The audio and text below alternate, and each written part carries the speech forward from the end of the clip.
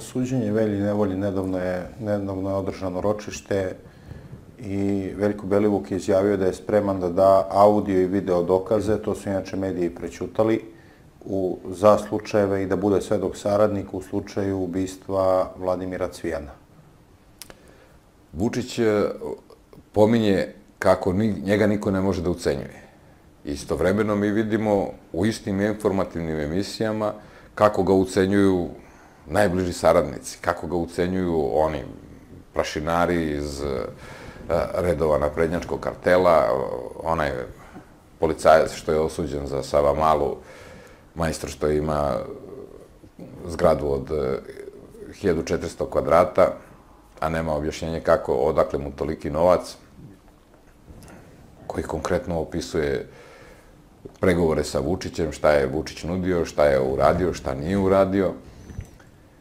Vidimo kako e, ga je ucenio Slaviša Kokeza, protiv koga tužilaštvo nije ni pokrenulo istragu, iako je bio u Vučićevim medijima, lično od Vučića, osumnjičen za šverc vredan 640 miliona evra, isto tako za pripremu atentata na Aleksandra Vučića, provlačeni kroz medije kao saradnik Belivukove kriminalne grupe, koja nije Belivukova, nego Vučićeva, ucenjuje ga svako.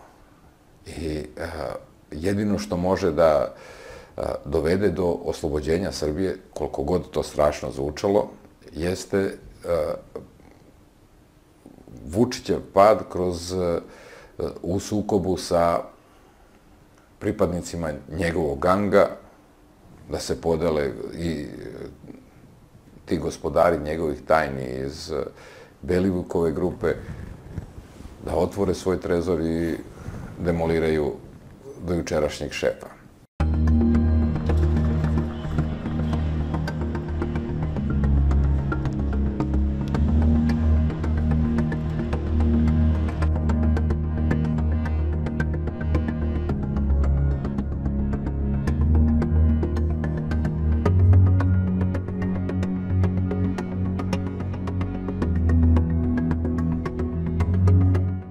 Novinara koji su se ispred Palate pravde okupili nešto pre 10 sati za kada je bilo zakazano davanje iskaza Nebojše Stefanovića nije video bivšeg ministra policije i aktuelnog ministra odbrane.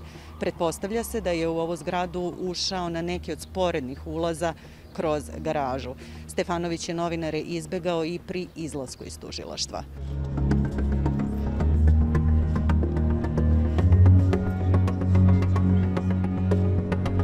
Ministar Stefanović o tome nije ništa znao, iako je u to vreme bio to što je bio, bio je ministar policije, čak nije znao i ni ko je izdao naredbu za vraćanje vozila, a to nije bio, to mogu da vam kažem, onaj koga ja branim,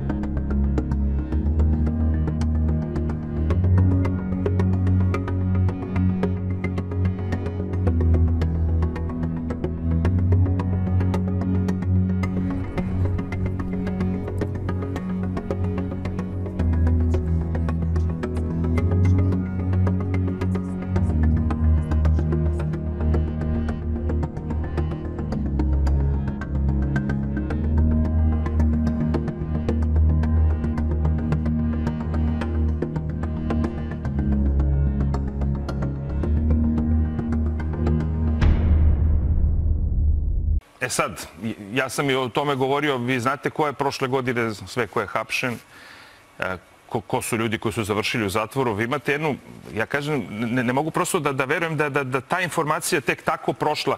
Mislim su večernje novosti pozvale Dobro. na optužnicu protiv Dijane Hrkalović, Dobro. koja je podignuta.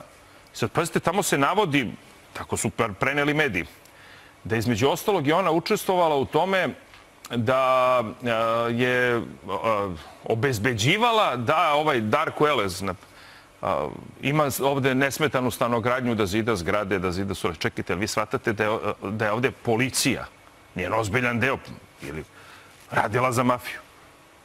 Možda mislite da državni sekretar u MUP-u u tom momentu pomaže da taj neki tip zida zgrade ovde. A da ne govorimo o tome što, što se između ostalog ta trgovina uticajem, zašto se on optužuje, između ostalog i navodi uh, Dobro, kao... Šta hoćete da kažete? Da je ovo sve povezano? Naravno da je povezano s obzirom da je ona obezbeđivala, bar tako pišu u medijima, ovaj, da je ona obezbeđivala da su uklone tragovi za ono ubistvo na šinama kada je ubijen onaj, onaj dečko karatistan, ovaj, a u, u- pretpostavlja se da su ova dvojica, Miljković i Belivuk, to, to uradili, da je ona uklanjala te dokaze. I to ne samo ona, tu su optuženi i ovaj što je bio načelnik SSIMA, pa između ostalog, eh, kako se zove, eh, načelnik policijske uprave u Novom Sadu, koji je obezbeđivo takođe Eleza, tako, to isto sve piše u toj optužnici. Znači ja samo navodim ono što su mediji pisali. Pa vi shvatate gde je ova država bila. Da ste vi imali policiju koja je apsolutno radila za, za, za, za mafiju, a to su inače ti ljudi koji su na ovaj ili onaj način povezani s ovim Zvicerom i tako.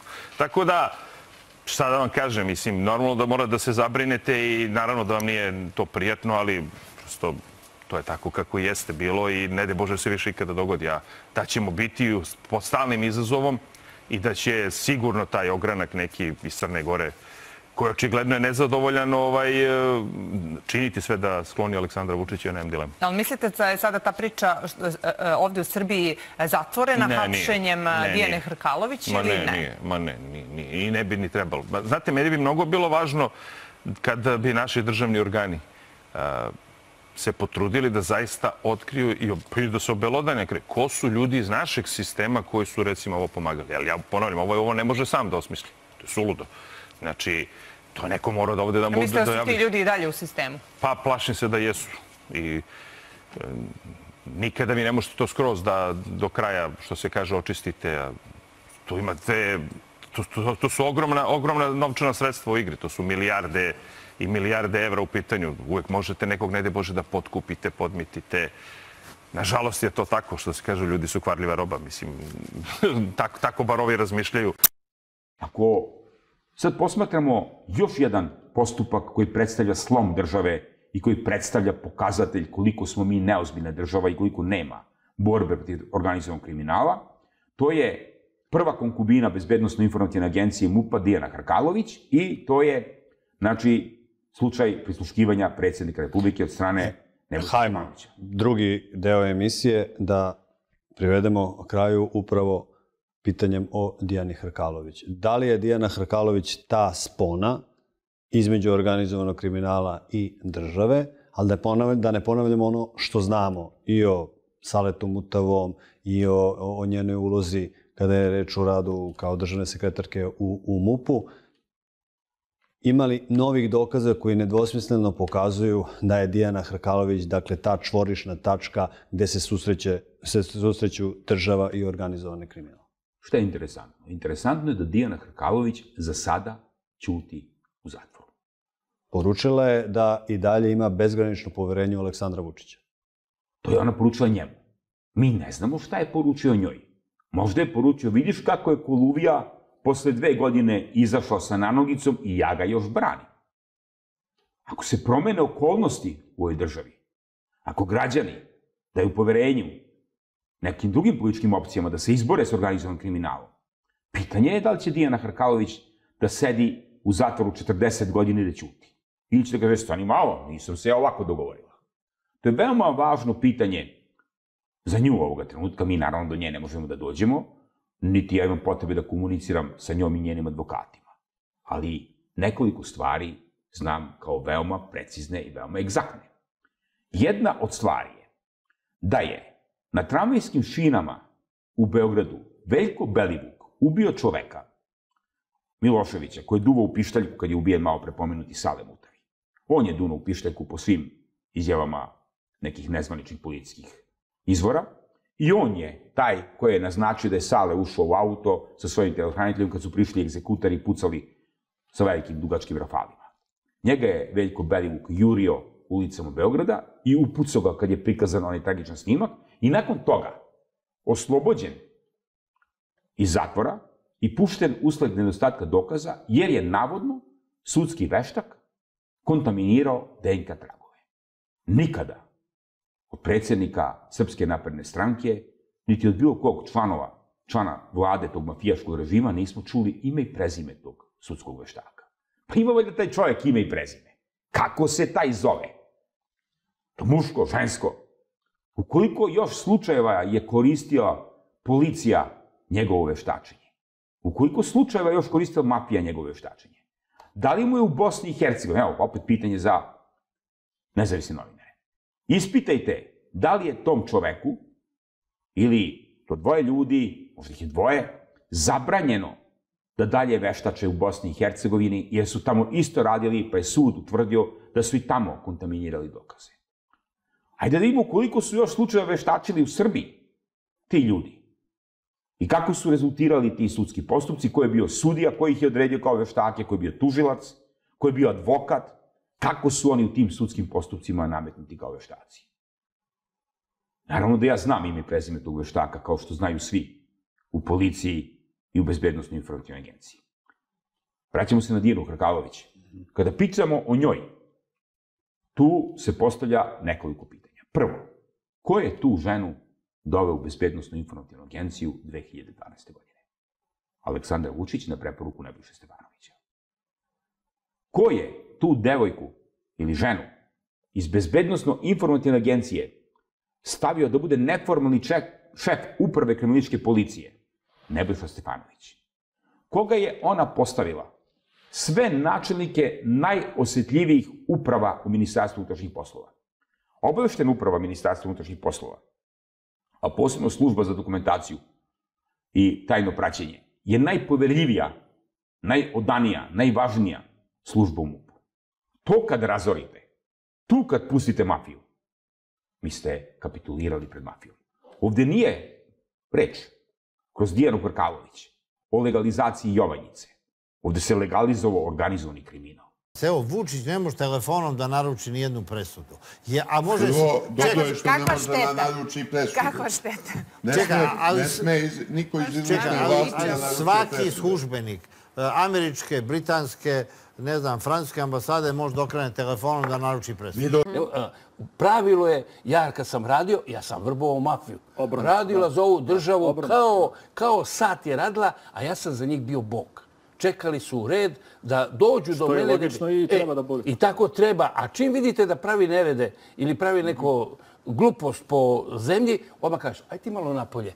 Ima para u Berlinu, ima para u Minhenu, u Nemačkoj. gdje. A ovdje je očito mafija došla do Dijane. Kako to će se sad ustanoviti? I jednostavno, e, ja se sjećam ko sad, susretao sam se ja sa par takih mafijaša koji su, kad sam im rekao ja ću da napustim službu, raspada se zemlja. Ne, nikako ti na, na te, znači oni su svo vrijeme na Dijanu atakovali da ona bude i davali joj taj značaj. Ti si boginja, ti si jaka. Znate, jedna labilna ličnost, suštinski sad se to pojavljuje, ona postaje tada stvarno umišljata. Da, hranio je sego na taj način. Umišljata, ona se e, bori da to postigne što oni njoj kažu i nažalost imate mlakonju, ministra koji sve to gleda i potpisuje samo tako.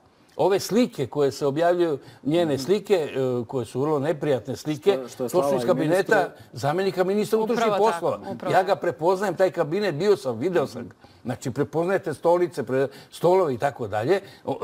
Dakle, jedan, e, napravljen jedan totalni haos. Mafija je uspela nju... Cirkus. Evo ako tako. Mafija je uspela nju da vrbuje.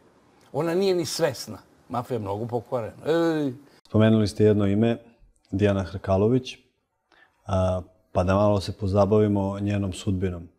Dakle, trenutno je u zatvoru, određen je pritvor od 30 dana, vidjet ćemo da će se produžiti ili ne.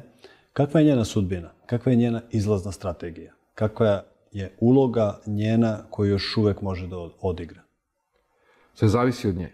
Ona je sigurno dobila ponudu. Pretpostavljam da je ta ponuda vrlo jednostavna. Da optuži za sve Nebojšu Stefanovića, biće osumnjičena, odnosno optužena za najblaže krivično delo koje može da joj se u ovakvim okolnostima stavi na teret, da odgovara za trgovinu uticaja.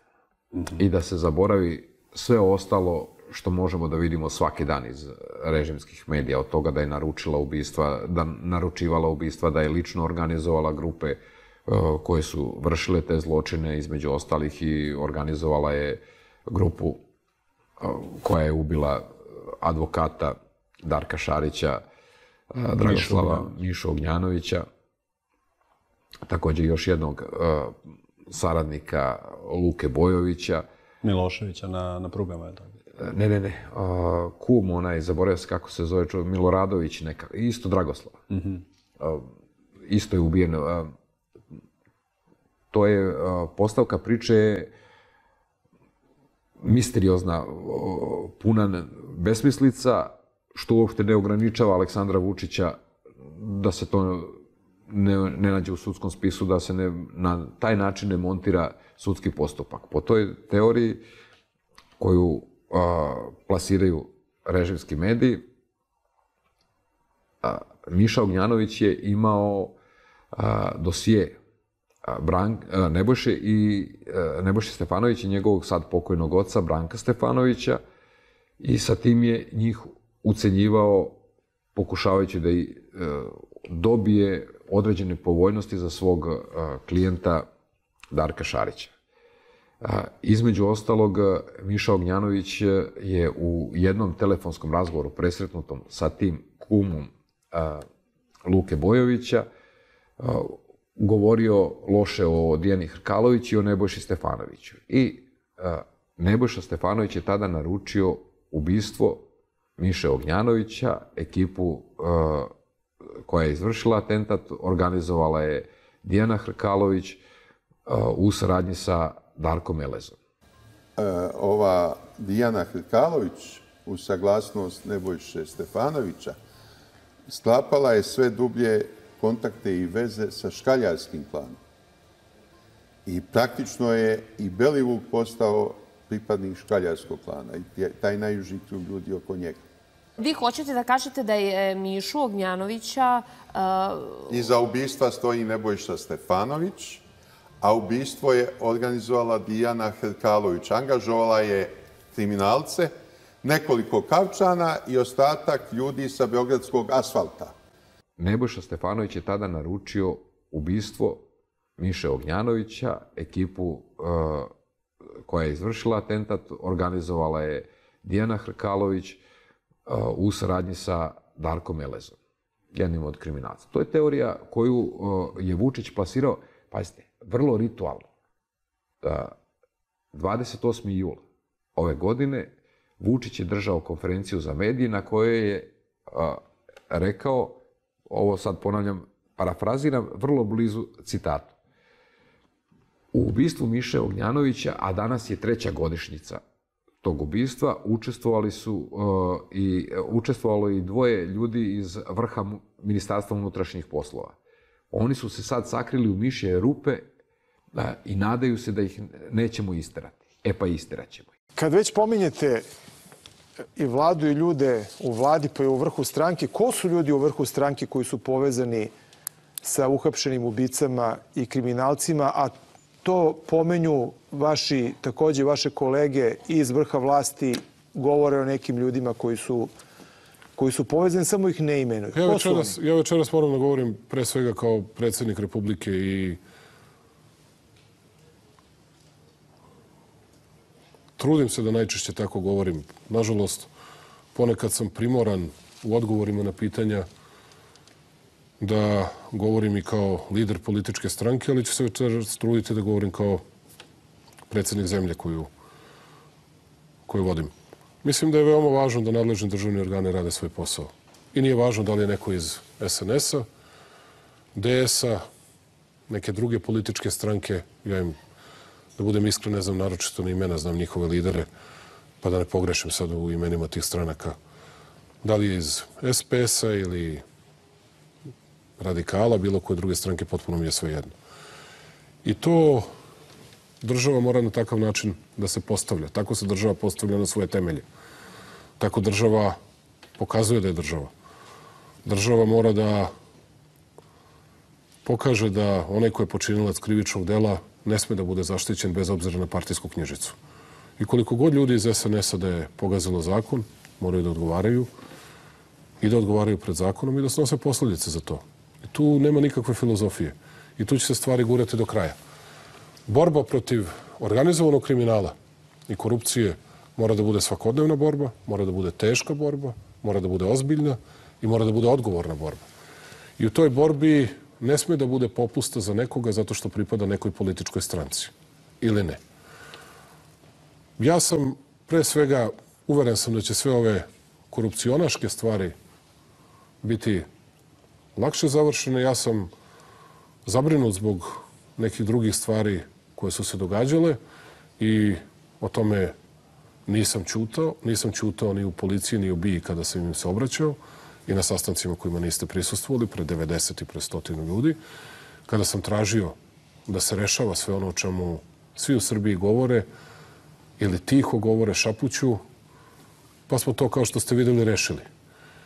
I rešili smo i rešit ćemo tek mnoga ubistva iz prošlosti, ali ono što me brine, to je da poput onoga što se dešavalo 99. godine, prilikom ubistva Slavka Ćuruvije, kada je bio na merama, punim merama praćenja i nadzora, se dogodilo ubistvo. Jer je neko povukao pred ubistvo ljude koji su tu pratnju činili.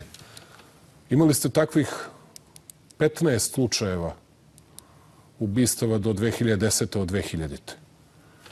gde su nadležni državni organi pratili određena lica, nekada iz kriminogene sredine, nekada koji nisu pripadali tom, toj sredini direktno, ali su pripadali takozvanom bezbednostnom sektoru, kao što se sećate.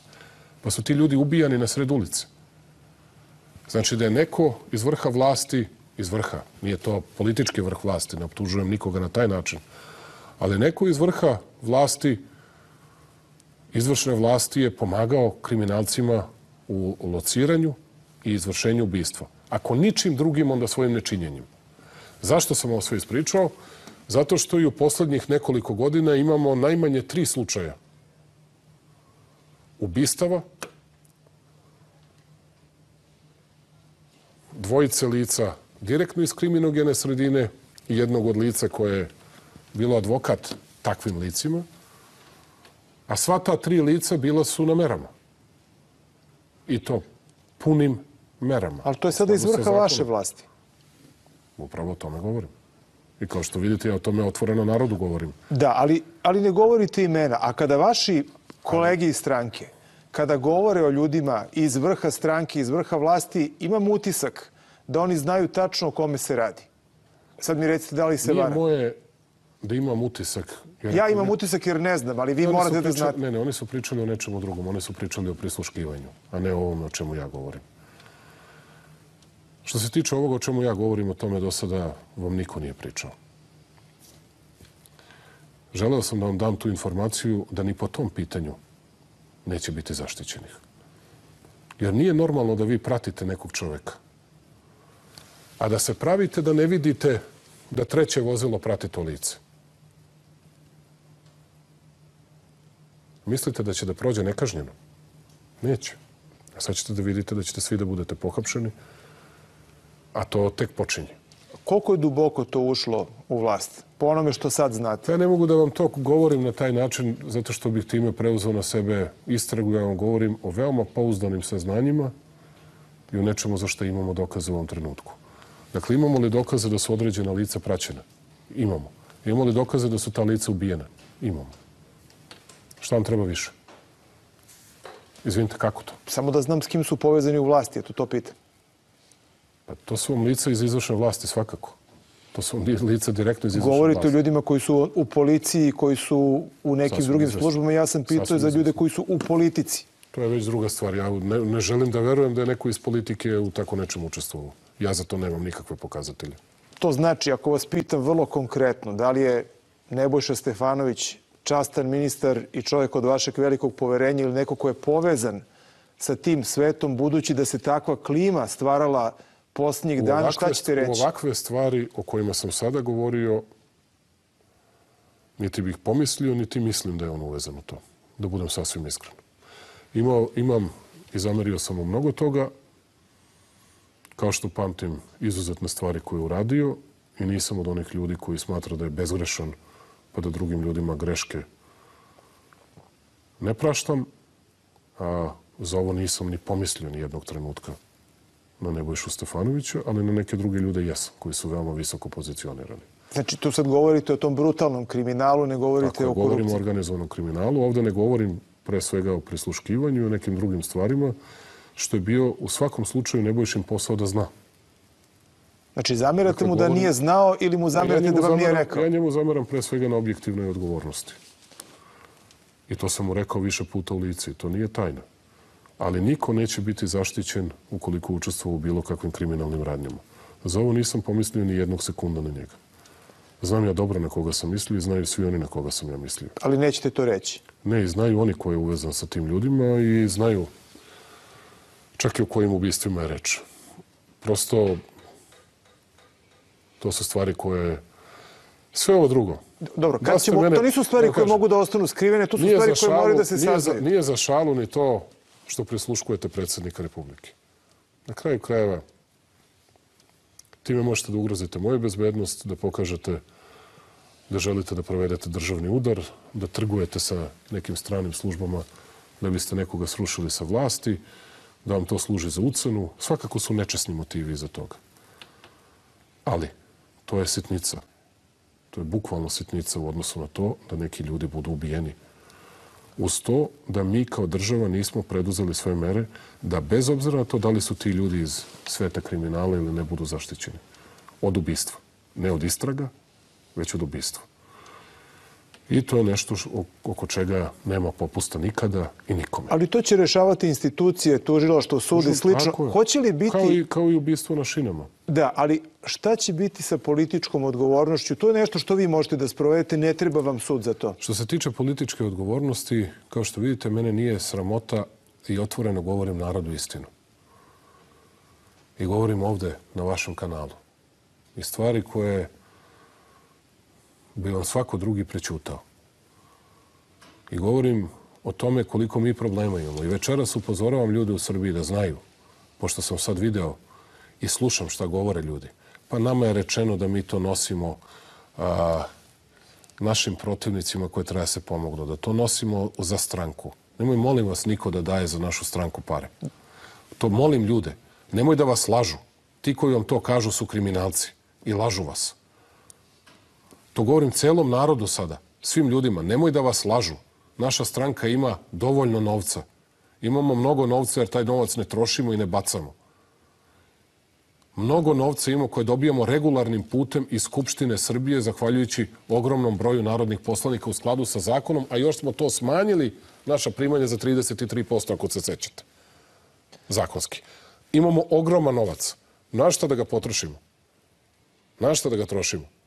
Ne trošimo ga ni na šta. Ako ga potrošimo, potrošimo ga na humanitarne stvari, odnesemo nešto nekoj deci, odnesemo u neku crkvu, džamiju ili bilo gde drugo. Da, dakle, to- molim to- samo ljude, molim samo ljude, evo ja to još jedan put molim, nemoj da vas lažu. Čim vam dođe neki u lokalu i kaže to mi je za stranku, recite mu ti si kriminalac. I prijavite to. Taj novac sigurno ne stigne do stranke, nego Pa ode, to je u, smešno, ode pa ja u to- neki, u neki mi, bolji... A ljudi- recite mi, zar niste primetili kod nekih ljudi u vašem okruženju da žive iznad Jesam. prihoda koje, koje Jesam i mogu na da imaju? predsjedništvu stranke sam o tome govorio. Da, ali kakve su posljedice za njih? Osim što ste ih ukorili. Osim što sam ih ukorio, neki već nisu na funkcijama. Neće ni biti. I to ćete tek da vidite. A neki su već izgubili te funkcije. Šta znači da ćemo da vidimo? Nećete nam sad reći, nego ćemo saznati Dobro, ko, nisu, ko izbori nije na posle funkciji. izbora. Pogledajte kako je ta stranka... Ali bit će znači narednih najmanje godinu dana na funkcijama do izbora. Ne, neki već nisu na funkcijama. Šta je sa onima koji jesu? Oni koji jesu, neki će biti ranije, neki će biti nešto kasnije smenjeni, ali će svakako biti smenjeni. A naravno, bit će velikih promjena u SNS-u i na kongresu stranke. Vidjet ćemo kada ćemo moći da ga održimo, tako da je to drugo pitanje. Ali kad smo govorili o, o ekonomskoj stabilnosti, sad ću citirati ono što se pojavljuje u medijima. Kako je moguće da niste primetili da fali ili da nema 640 miliona u budžetu koje su... Ajte, nemojte 640 miliona, to je pretarano, mislim, to je... I nije 640 miliona, nego je to kroz 8 godina napisano 640 miliona, ali to je... Ja vam citiram ono što piše što dolazi do javnosti. Pa dobro, to što piše, piše, nemojte se ljutiti i na tarabi svašta, pa se niko ne zaleće na tarabu.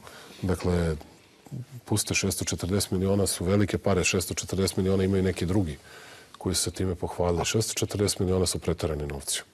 Ali sad kad kažemo za, i za te druge, za koje, za koje 600 spominjete... Ali samo da znate, tih 640 miliona i ti koji su pominjali, je to za 7-8 godina, a ne, ne u godinu dana. To je kakvih 640 miliona, ogroman novost, to biste odmah videli.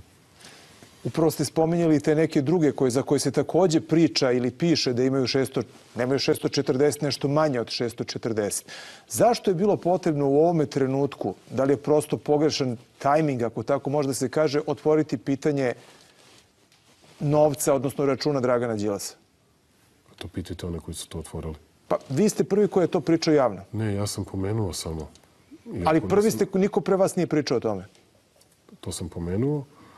I to sam pomenuo na držanje pridika od onih na najgluplje moguće teme. Evo, pošto ću sad, otvorili ste to i gledat ću da što manje ulazim u tu temu.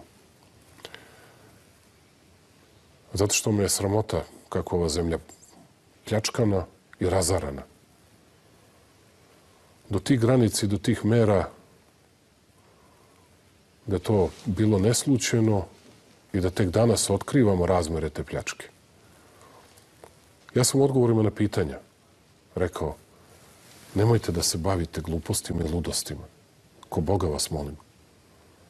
Bolje razmišljajte kako da odgovorite odakle vam računi i u Švajcarskoj i u Mauricijusu. Sad vam kažem, pošto sad saznaje mnogo više, imate 50 računa, ne dva. 50 računa u preko 17 zemalja. Rećete, nisu privatni računi, nisu. To su vaše firme. Nekad je, imate razliku između nominije i UBO. Dakle, nominije onaj koji je tobožnji vlasnik firme, ali uglavnom tobožnji, a taj ultimate beneficiary owner je onaj koji je stvarni. Tako su igrali igre sa Krasimirom Gergovim, sa ovim nesrećnim što peva pesmu Kokain, ovaj Schmidt. A, između sebe prebacivale loptice Ali to nije zabranjeno i nije nezakonito. Ja vas da pitam, šta imate da krijete od poligrafa i da vodite politiku živo dajem, ali izjavu za poligraf ne dajem, ako vas neko pita ili imate račun ili nemate račun? Šta imate se plašite poligrafa? Pa prosto nije, nije obavezan. Mogu Nije da obavezan. kažem hoću ili neću. Ajde da vas ja pitam, a da li bi častan čovjek otišao ili ne? Evo, nije meni obaveza, niko me i ne pita za Jovanjicu, ja kažem, evo, ja hoću. Evo, ja hoću, pošto su pričali kako ne smem, ja kažem, ja smem. Ali ja ja mislim da svako treba da donese tu odluku lično. Da li želi, da li ne želi, da je to U prosto pravu ste. pitanje. I svaki kao, lažov- kao i za vakcinaciju. U pravu mislim. ste, pravu ste. I svaki lažov će doneti istu odluku. Živo dajem, poligraf ne dajem. To jest izjavu za poligraf ne dajem. Besprekorno ću vam reći. Besprekorno. Doživeo sam ja to i sa onim nekim vetroelektranama ili ta generatorima ili kako već. Ja opet bio budala pa ja išao na poligraf. Zamislite, ja predsednik vlade idem na poligraf da bi dokazao, jer ne verujem da ljudi mogu da misle, jer ne verujem da ljudi mogu da misle da to neko može da uradi. Pa nemojte sad ste rekli da, bi, da ste bili budala što ste išli na poligraf. A ja budala jer sam jedini, kad kažem budala, ja sam budala zato što sam želeo uvek da se borim za to da dokažem, da govorim istinu i da radim pošteno. A nekoga, kao što vidite, baš briga da li je pošten ili nije pošten. On može mrtav vladan da kaže neću na poligraf. I ne, baš me briga. Da, ali imati račune, poslovne račune, nije, ne mora da bude prekršaj. Znači, ukoliko je Pa to... što lažete onda? Što Pa ne znam, javnost? pa ne, ne znam da vam kažem da li neko laže. Prosto to nije samo po sebi prekršaj. Prekršaj možda ukoliko ima nekog nelegalnog novca tamo. A Ajde da stvara se pitam klima nešto. kao da jeste Ajde, prekršaj, ja mogu kao vas da je... pitam- Ja mogu da vas pitam nešto. Ako umem da vi odgovorim, imate- obično ne Ako vi umem. imate 75.000 profita, a onda ste 10 godina na vlasti, i za tih 10 godina, tačno 10 godina, od 2004. do 2013. I za tih 10 godina napravite prihoda, kako kažete, legalnih i prijavljenih preko APR-a, 700 miliona evra. A profiti se tek sada vide koliki su. Izvinite, kako ste to stekli? Ali svesti ste da ima onih koji sad gledaju i koji kažu pa ima takvih i danas u Vučićevoj vlasti. Recite mi jedno ime. Ne znam, ali Ne znate. slušam, Ja ću vam slušam, reći- pa nemojte od mene da Nema- očekujete ja ću da, da reći- znam ja finansijsku reći- forenziku. Ja ću vam reći, ja ću vam reći, nema nikoga ni blizu, a onih kojih ima su mnogo, mnogo manji i ne mislim da su bolji i ne mislim da su moralniji. Ali ih znate. Naravno da ih znam. I šta će biti s njima? Pa evo sad se vode različiti postupci. To je Indirektno je prozvao Hrkalović koji Nacrtao je, Stefanović. nacrtao je njih dvoje. Nedelju dana kasnije može sve da se nađe na YouTube-u. Uh, pogledajte izjave Vojislava Šešelja, pre svega kod Milomira Marića na Happy televiziji. Šešelj je razradio tu optužnicu protiv njih dvoje i opisao tako. A, poziva se na razgovor, presretnuti razgovor Miše Ognjanović i tog Dragoslava Miloradovića, mislim da se preziva, nemojte da me držite za reč, uglavnom jedan od najbližih saradnika Luke Bojovića. Obojica su mrtvi. Dosije koji se navodi kao motiv za odluku Nebojše Stefanovića da naruči ubistvo, Miše Ognjanovića ne postoji. Ne zna se gde je. Danas je Dijana, kad sam ja upozoravao na to, kad sam govorio u kom smeru to ide, da će biti uhapšeni i to tim redom.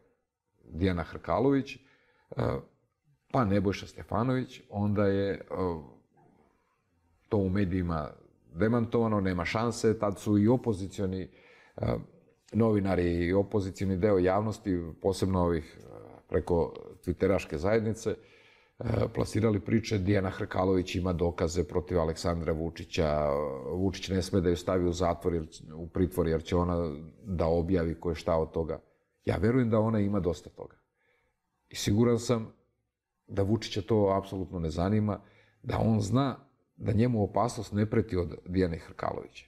Preti mu od stranih službi zbog kojih je i po čijem zahtevu je odstranio Dijanu Hrkalović iz MUPA u maju 2019. zbog kojih je, e, po čijem nalogu je, po čijem zahtevu je i prinuđen da krene u obračun sa ekipom Veljka Belivuka, koja mu je do tada služila kao stranačka paravojna pešadija.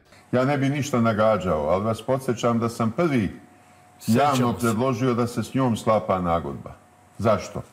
Zato što su Amerikanci ultimativno tražili da se ona ukloni iz Ministarstva unutrašnjih poslova. I verovatno imali znači- jak razlog. Imaju jak razlog i nije im po volji. Što znači da nije strani špijun. To je za mene veoma važno. Dobro, to je olakšavajuća okolnost. olakšavajuća okolnost u mojim očima tolika da može proći i sa sudskom opomenom i sa oslobađajućom presudom. I bilo bi pravedno, iako je bila umešana u razne tu nepodopštine, ali ona je žrtva već bila pre nekoliko godina. Ali ona je žrtva već bila pre nekoliko godina, kad se Nebojša Stefanović vratio iz Amerike 2019. Vi hoćete da kažete da je Mišu Ognjanovića uh, Iza ubistva stoji Nebojša Stefanović, a ubistvo je organizovala Dijana Hrkalović. Angažovala je kriminalce, nekoliko kavčana i ostatak ljudi sa Beogradskog asfalta. Advokat Sead Spahović, branilac bivše državne sekretarke Ministarstva unutrašnjih poslova Dijane Hrkalović, izjavio je da se ona čak i u zatvoru ponaša kao vojnik partije. Ona i sada, kazao je Spahović u intervju za nedeljnik vreme, veruje bezgranično Aleksandru Vučiću i Nebojši Stefanoviću i ne dozvoljava da se bilo šta loše kaže za njih dvojicu ili za Srpsku naprednu stranku.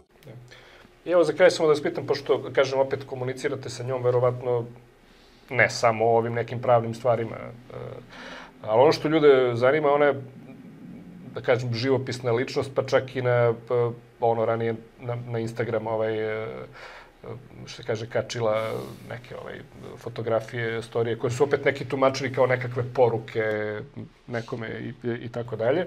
Ovaj, e, e, kako ona sad živi, gde živi, čime se, čime se bavi, šta, šta Najnormalnije, sad, evo, to, e, tu anegdotu, to vam moram ovako ovaj, da, da, da ispričam. Znate, sa nju se vezuje razno razne stvari kad vi čitate po ovim novinama, da je, ne znam, naručivala ubistvo. I, I to je najviše, najviše pogađa pre svega što neko povezivo da je radila nešto protiv porodice Vučić, posao protiv Aleksandra Vučića, jer evo, mogu da kažem, znači, ona protiv Aleksandra Vučića u životu ne bi radila ništa. Nikada. I sad mi je zaista deluju smešno pojedini mediji koji su valjda očekivali da će ona... Čak i ako joj je naređeno... Nema, ša- da ona zna da ide nešto protiv Aleksandra Vučića, teorije nema da bi nešto uradila. Da li njoj neko prikrivao? Pa ona možda i nesvesno negde, ne, to je nešto drugo. Ali ona lično protiv Aleksandra Vučića u životu ne bi ništa nikada uradila. I do te mere je lojalna... Ili da je naišla na nešto, ne bi ćutala. Do te mere je lojalna da to nemoj da imate nikakvu dilemu. Tu je e, kolega koji inače prethodno bio njen branac, gospodin Spahović, apsolutno u pravu. I moram kažem, a, a, gospodin Spahović je nju veoma dobro pripremio. Mogu je da se ne slažem u životu politički sa gospodinom Spahovićem, ali ta kancelarija je vrhunska kancelarija i oni su odlični advokati i mogu da kažem da su izuzetno, izuzetno dobro branili. Znači, moram priznati da mi žao što nisu i dalje u postupku. Zašto ona tako htela, to je sad već na, na njoj, ali, ali ovaj, e, oni su... Spomenuli ste anegdotu neku. Da, e, stalno se vezuje da ona naručivala neka ubistva. Mislim, znate, št, e, to je druga stvar koja se najviše pogađa. Prva je ta za Vu, Aleksandra Vučića, jer prema njemu osjeća izuzetnu, što bi se reklo, lojalnost i, i, strah, i, i neku vrstu, hajde kažemo, pravog onog istinskog poštovanja. A druga stvar je to što je vezuju da je naručivala neka ubistva, kaže, znate, šta, šta će pomisliti neke porodice da sam stvarno neče ubistvo naručila. Mislim, to je baš, to je, on, baš je to pogađa, onako, se priča i Ovo, ja sad njoj kažem, prvi put kad smo se videli, rekao, pa vidiš šta sve piše, tebi bezbedne sediš ovde u pritvoru, nego da si napolju. Međutim, ne, ona vrlo hrabro a, izađe, prošeta, svi znaju gde živi Vojvode Stepe tamo, uopšte ne krije. Ja rekao, pa kako, mislim, bezbednost, kaže, vidi, ja sam pred Bogom čista. Nigde ja nikom nikakvo ubistvo niti sam naručila i to sve te mafije ovog sveta dobro znaju. Znaju oni ko je njima, ko šta, koga ubio i da to nikakve veze sa mnom nema.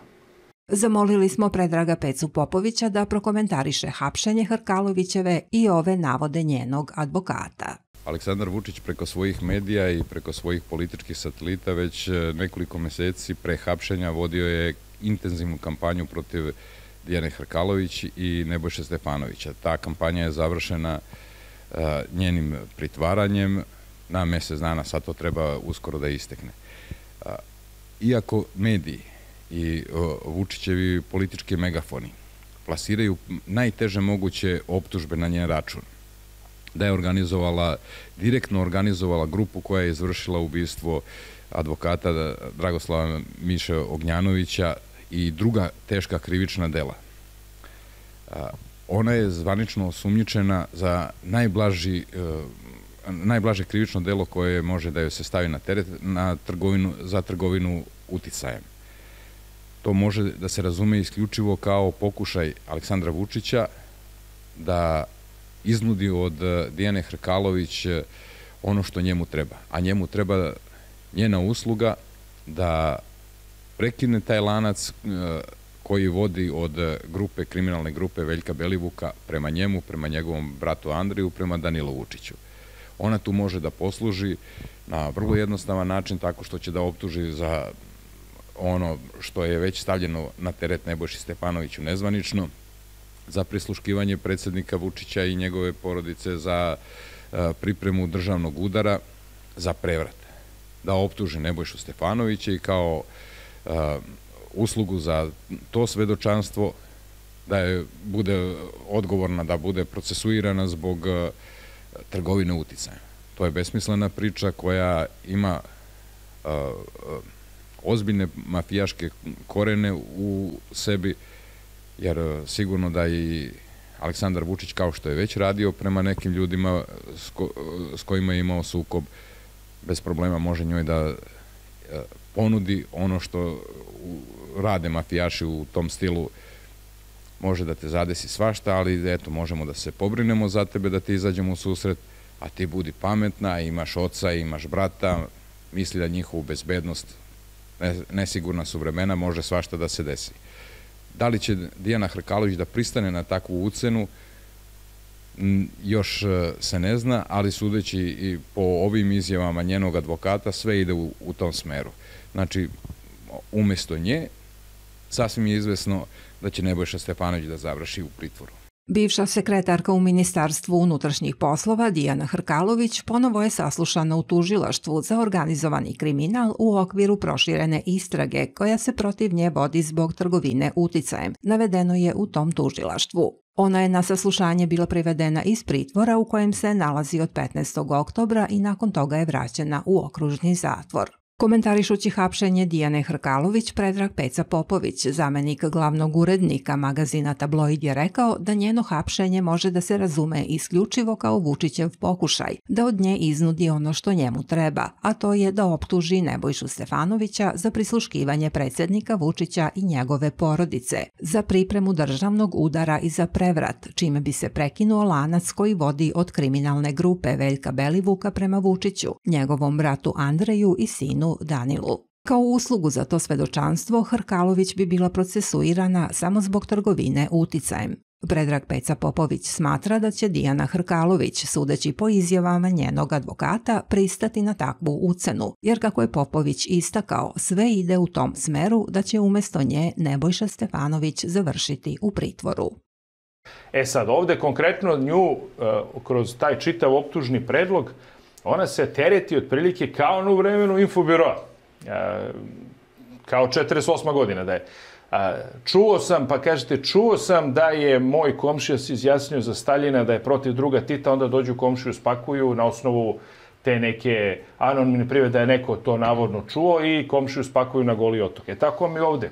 Cijel optužni predlog je taj da je ona negde nekom nešto usmeno naredila niti je ko video tu usmenu naredbu, odnosno da je video da ona nekom usmeno naređuje, niti je čuo, niti, niti ima ko da to posvedoči, nego eto, e, drugo okrivljeni u ovom slučaju kaže za taj, recimo, on, on, za nju se vezuju tri tačke konkretno u toj, tom optužnom predlogu, ali u tom prvom, koja je ako najinteresantniji, da je njemu ona rekla po naredbi ministra Stefanovića da se sačeka sa slanjem izveštaja vezano za forenziku telefona ovaj znači, Veljka I sam taj svedok kaže da je Dijana Ona on nije svedok, on je da, drugo okrivljeni. Drugo Govorimo o gospodinu Milenkoviću. Jasno, da. I koji čak u jednom momentu kaže da je e, zapravo, kada on, pošto stizale više urgencije od strane e, višeg javnog tužilaštva, Kaže, on čovjek vrlo, vrlo iskren, kaže ovako, ljudi, mi smo to ekstra, poslali, sirov materijal analitici, to je ekstrakovano. Što se nas tiče, mi smo sve završili.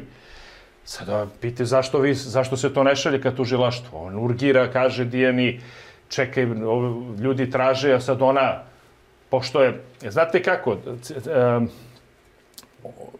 kako sama Dijana Krkalović i rekla na suđenju, e, ona je, nju je obavestilo, obavestio neko iz analitike, da se u tom, e, aj kažemo, ekstrakovanom materijalu, odnosno... Da podsjetimo gledalce reči o ubistvu na šinama. Šinama, da. I... Ubistvo Vlastimira Miloševića. Vlastimira Ona u tom momentu nema da. pojma ni o čemu se radi. Ali, kaže, nama je došao u analitiku uh, UKP-a, to su, to, došao je neki materijal sirovi iz uh, SSI-ma, mi smo to sublimirali, sve sredili, kaže, tamo se pominju neka imena, tužilaca, sudija, u tim stenogramima, otko znam. I oni iz, iz ne znam kog razloga obaveštavaju nju. A ona je imala inače naređenje, gotovo svi rukovodioci unutar MUPA su imali jednu vrstu usmene naredbe od strane ministra, da kad god se tako neko pomene, da obaveste neodložno ministra. Između ostalog i on se pominja u tom. I ona je... Da li ona znala nimala sadržinu... Ne, nimala pojma. Znači, ona imala pojma o čemu se radi. I ona obaveštava, kako i sama kaže, ministra Stefanovića, ima neki materijal, on njoj kaže, donesi to, i ona uzima zapečaćeni taj materijal, nikako ne, nije pojma ne šta je sadržina, i daje to Stefanoviću. On posle zove i kaže njoj, reci ovima iz SS-ima da to ne šalju.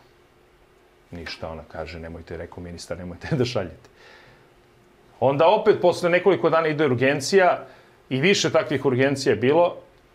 Sad, ovaj Milenković kaže njoj, načelnik SS ima, koji je drugo okrivljeni, kaže, zovu stalno iz tužilaštva, ne znamo šta da radimo, ona opet obavesti ministra i ministar je na momentu ljutio to onako drsko njoj, kaže, kako je ona sama to prepričala u svojoj odbrani. Kaže, reci reci im da joj kažu Nataši Krivokapić, višem javnom tužiocu, ako ima neki problem, neka pozove mene. I oni su njoj to tako preneli, ona više njih nije zvala. Je li to normalna I to je, komunikacija da... sad sama Dijana Krkalović kaže, meni uopšte nije bilo jasno zašto je ministar Stefanović uopšte a, a, korespondirao sa, i, i, sa, sa višim javnim tužiocem preko nas. Kakve mi veze imamo uopšte sa celom pričom? Prosto on je... Evo, ja nisam pravnik, zar nije zadatak e, ministra i ministarstva, kao da kažem, izvršne grane vlasti da bez bilo kakve, bilo kakvog ulaska u raspravu dostavi taj materijal. Ne, ne ministarstva, to je trebalo da uradi UKP. Znači, uprava kriminalističke policije, Tako, znači, da policija. to dostavi po zahtevu višeg javnog. Zašto se ministar tu uopšte... Ne znam. Ne znam. E, to, je sad, e, to je sad ključno pitanje. Zašto uopšte je on tražio da to pogleda? Šta to njega interesuje? A da li vi imate neke saznanja? Da li, ne znam. Da li znate šta se nalazi u tom materijalu? U tom materijalu, da li se ne, ne, pa kasnije, ka, kasnije da. smo, mislim sad ono spisima predmeta, to je taj materijal vezan za to ubistvo na šinama, da imate tu neke stenograme, razgovora, valjda Belivuka i to je, to je zapravo forenzika njegovog telefona. I sad tu ima gde on pominje valjda kako on poznaje ministra Stefanovića, kao, pa onda ovaj neki drugi tamo ko je bio... Belivuk u, ti, u, u svojim razgovorima... Pa da, sad oni tu, on razgovara tamo sa nekim, pa se oni dogovaraju, imamo tamo ministra, ne znam, znaju ovog i onog tužioca, ima tamo sve i svašta, mislim, to su stenogram najobičniji, ali zašto on to tad nije dozvolio da se ovaj, da se da bome ovaj, dostavi tužilaštvu. Ja to ne znam. I ko je na kraju kreva on ja, da to ne dozvoli? Ja, ja se izvinjam, ja ne bih rekao da su najobičniji stenogrami ako šef takvog kriminalnog klana kaže da poznaje ministra Pa ja mogu sad da se, ja mogu da se složim. Ne, ne da poznaju, nego između ostalog kako Pa upravo to, ajde kažemo, imamo tog i tog tamo, ne znam, sudiju ovog i onog znamo. Sad da ne pominjem imena, ne bi želeo, jer to je prosto stenogram. A, i, i, ne, I ne želim da ulazim u to, niti, bi, niti je to ovako lepo da, da iznosim, ali, ali ovaj, kažem vam, tu se pominju, sama je ona naglasila, Dijana Krkalović, da se tu pominju neki, njoj su iz analitike rekli, pominju se neki sudije, tužioci, političari, otko znam, i tad njoj kaže, donesi mi to. Ona je to donela za pečaćinu. U tom momentu ona nema pojma šta se nalazi i, i kakav je to materijal zapečaćen materijal, pojma nema o čemu se radi, donosi to njemu na sto. On je posle zove i kaže, ovaj, idi, uh, idi reci ovima u SSIM-u da ne šalju to još uvijek, nek sačeka. Tako, to su bile njegove reči. Dobro, sad, uh, e, sad, kažem... inače, normalna korespondencija, tužilaštvo zahteva, SSIM, to jest UKP, šalje izveštaj. Taj izveštaj na kraju je poslat sudije za prethodni postupak, po nalogu višeg suda tada, i potpisao ga je gospodin Rebić. Gospodin Rebić u tom momentu tada, i kada je sve to počelo, odnosno kada se dogodilo to ubistvo i kasnije, u tom momentu on vrši funkciju vršioca dužnosti uprave, e, načelnika uprave kriminalističke policije. Znači, i njega treba pitamo, izvinite, a zbog čega je to kasnilo toliko? Ko vam je to rekao da ne šaljete? Zašto? Po, kom, po čijem nalogu vi to, vi, vi to ne šaljete? Da vam kažem, ja mislim da da je ova vlast potpuno pogubila konce. Ona je potpuno van zakona.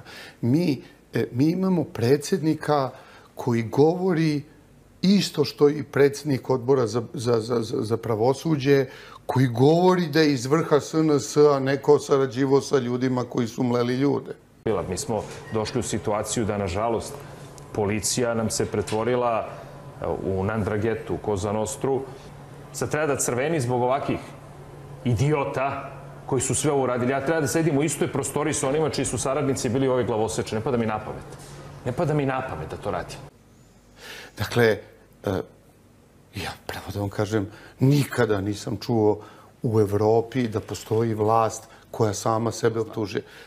Znači, čim se vi bavite? Ste vi normalni? Veliko je pitanje da li su ovi normalni. Ja nisam psihijatar. Ja sam bio dugo sudija i mnogo ljudi sam poslao na psihijatrijske preglede. Verujte mi da bi pola ove garniture poslao na psihijatrijski pregled. Ja sam predsednik svih građana Srbije i ne mogu da se pomerim sa ubistvima ne ovoga mladića, ovaj mladić je bio pošten normalan čovjek, nego i oni koji su sa druge strane zakona i koji su kriminalci, niko nema pravo nikoga da ubije.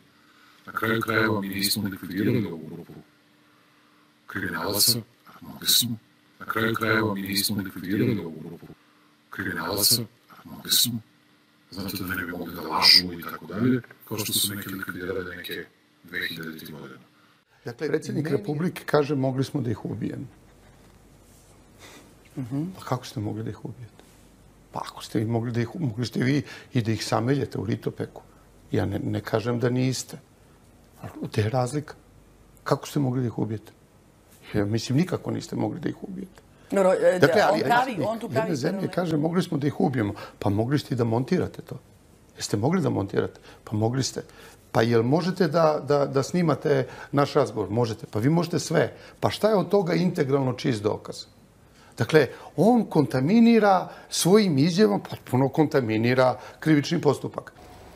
Znači, tužilac mora odmah da na- izda nalog za hapšenje i Andreja Vučića i Zvonka Veselinovića, ali pre svega govorim o Andreju Vučiću i tog momenta, šta da kažete, brat predsjednika Republike, najveći trgovac drogom. Zamislite to. Predsjednik bi morao po moralnoj i svakoj ostaloj e, dužnosti da da ostavku Ma, i to je ono što bi bila, Na- što je bio i cilj. To je luda sreća da čovek je bio trezven u tom momentu, a nije to prihvatio. Evo da pustimo... A neko, neko, neko drugi ko bi, je- ko bi bio u strahu, jer znate, ne- neko vas šalje u pritvor, maltretira, neko bi verovatno možda to pristao. I šta bi onda bilo? Potpuni cirkus. Zašto je ovo neko radio?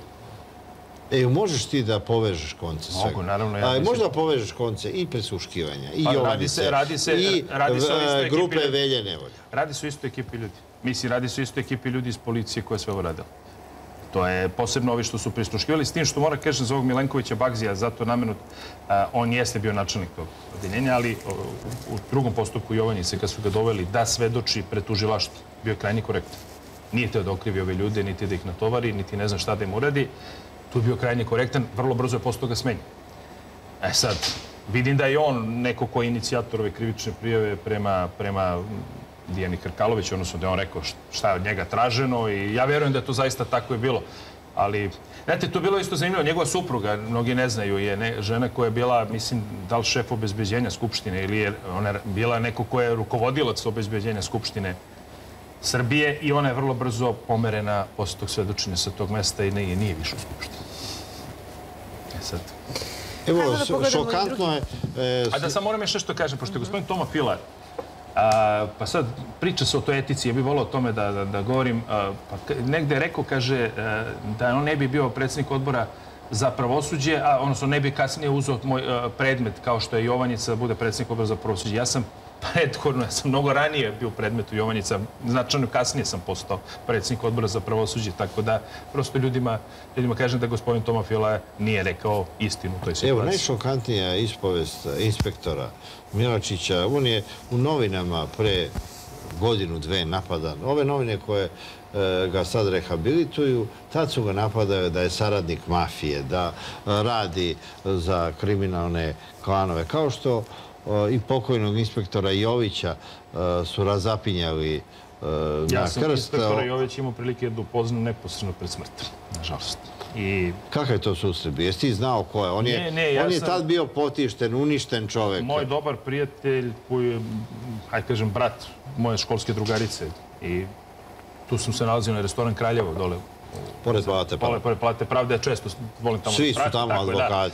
I, ovaj, I on me je, kako se zove, doveo i kaže ovaj moj kolega Jović, ja poznajem čoveka, onda mi ispričali su njegovu Čekaj, ti tragičnu... si čitao u novinama? Da, znam da sam, mislim, on mi ispričao tu njegovu tragediju. Njega su zbog zloupotrebe službene dužnosti ili kako već nakalemili mu to i držali ga tri meseca u pritvoru. Suštinski to je bila neka vrsta kazne jer on nije hteo da izveštava, jer nije imao ni razloga da to radi, državnu sekretarku o istrazi vezano za ubistvo na šinama. On je to sam rešio, dostavio tužilaštvu svima. Dostavio E sad, taj DNK čuveni. Da li je on uhapšen zato što je e, uhapsio Velju Nevolju i Miljkovića kao Pa, Pretpostavljam- izvršioce? Pretpostavljam da je tako bilo, zato što nije hteo da izveštava, jel tako, o, E, nije htio da skloni dokaze, kasnije su iskonjeni. Upravo, upravo tako, ali kažem, on je to uradio u skladu sa zakonom zato što je izveštavao tužioca. A ne, zašto bi državno... A ne Dijanu Hrkalović. A zašto bi to radio? E, verovatno mu je to onda nakalemljeno i čovjek je završio tamo gde je završio. Nažalost, neki mnogi kažu da mu je tada imunitet značajno opao i da je razlog kad ga je korona uhvatila upravo Mada njegov otac je ovih dana dao jednu šokantnu izjavu da je on ubijen u bolnici i da je ubistvo naručila Dijana Hrkalović. E to već sad neka radi istraga, ne znam da li je to tačno, ali da je, nažalost... Zato imao sam prilike, ako poznamo, je već tad bio poprilično onako delove kao jako tučen čovjek i pa i kako i ne bi, mislim, na kraju kreva, da, da, te, da radiš pošteno svoj posao, onda neko ti nakalemi iz čista mira. Evo da, da vidimo izjavu inspektora Miloč, to je šokantno o, i možda najbolje slika vreme u kome e, živimo. bukvalno meni kaže Milačiću, ja nemam snage za to. Ja nemam ni vremena, ni snage, ni živaca, ja sam umoran čovjek. Ja, evo, za 15-20 dana, mesec, idem odavde, a vi to malo sačekajte, pa to sve pripremite, pa dajte novom ministru. Čekajte sad, po ovome sad što ste ispričali, praktično je on zaustavio istragu. Pa znate šta sad, praktično može da se podvede pod, pod mnogo što šta, ali ja vam kažem bukvalno od reči do reči šta mi je čovjek rekao. Pa čekaj, šta sad to znači umoran sam? To je tako otkriće, tamo je neko odveden, možda iskasapljen, ubijen. Apsolutno. Pa koliko ljudi posle ubijeno možda? Mnogo. Pa da li moguće? Znamo za pet. Optužnica potvrdila pet. A kidnapovano je 17. Čekajte, sad, ajde sad ovako, znači, zato što ministar je rekao da je umoran, da je ne znam šta, e, niko drugi nije smeo da kaže ajde u redu, evo ti saglasnost Pa unutra. da unutra. kaže ako ministar, pa ministar kako, kako će preko ministra? Realno, pričamo sada praktično i realno, kako će preko ministra? Ovo je jezivo sa što ste rekli. Pa tako je bilo. Ovo je zaista šokantno. Po ovome ispada da je tadašnji ministar unutrašnjih posla suštinski zaustavio upad u tu kuću, iako imao sve crno na belo. Ja vam kažem šta mi je čovek rekao. Ali to je bio državni interes da se takvi ljudi razotkriju. Zašto? O čemu se ovdje radi? Apsolutno, apsolutno. Apsolutno. Bio si šokiran. Pa ko ne bi bio? Da biste vi bili šokirani? Ali znaš da se tad pričalo da su policajci sa službenim navozima Ali ja moram e, sad- odlazili u Atinu da učestvuju u ubistvu Ja neću e, da govorim da... Igora Dedovića i Stamatovića, Ne, da su samo policajci to da kažem, radili. ja ne znam da li je ovo istina. Gospodin Milačić je sam to ispričao. Ali eto, tužilac neka radi svoj posao. Da vas samo, kada je ova izjava data? Ovo je, kad smo radili intervju pre nekoliko mesec, dva, kad je bilo I za tih mesec, dva, čak i da je lažna izjava, čak i da 100% nije tačna, kako je moguće da do dana Kako je današnjeg moguće niko da to ministar nije istražio? Kako on nije procesuiran do Pitajte sada? Ne znam šta Koje bi vam rekao. tužioce da pitamo? Pa ne znam oni koji treba Oni su nedodirljivi, evo, nema ni jedan Pa tužilac koji ikada pitajte, bio ne, ne, nekom znate, mnogi kažu ja, ja ne znam ovdje utiče na sudije tužioci. Nemam pojma, pitajte. E, tako utiče. Znači, ja bih zaista zamolio da Čekaj, radi čuo svoj si ti posao. te priče da je policija učestvala u međusobnim obračunima dva mafijaška klana, da je štitila jedan klan protiv drugoga. Čuo sam. E, ovo za osecanje glave se pričalo po Beogradu e, mesecima ranije. Da su jedni namerno praćeni, pa se onda odjednom pratnja povuče kad treba budu likvidirani, a on, mislim, s druge strane dojavljuje se njihovo kretanje, dede se ovi kreću i ta onda ovi dođu pa ih likvidiraju.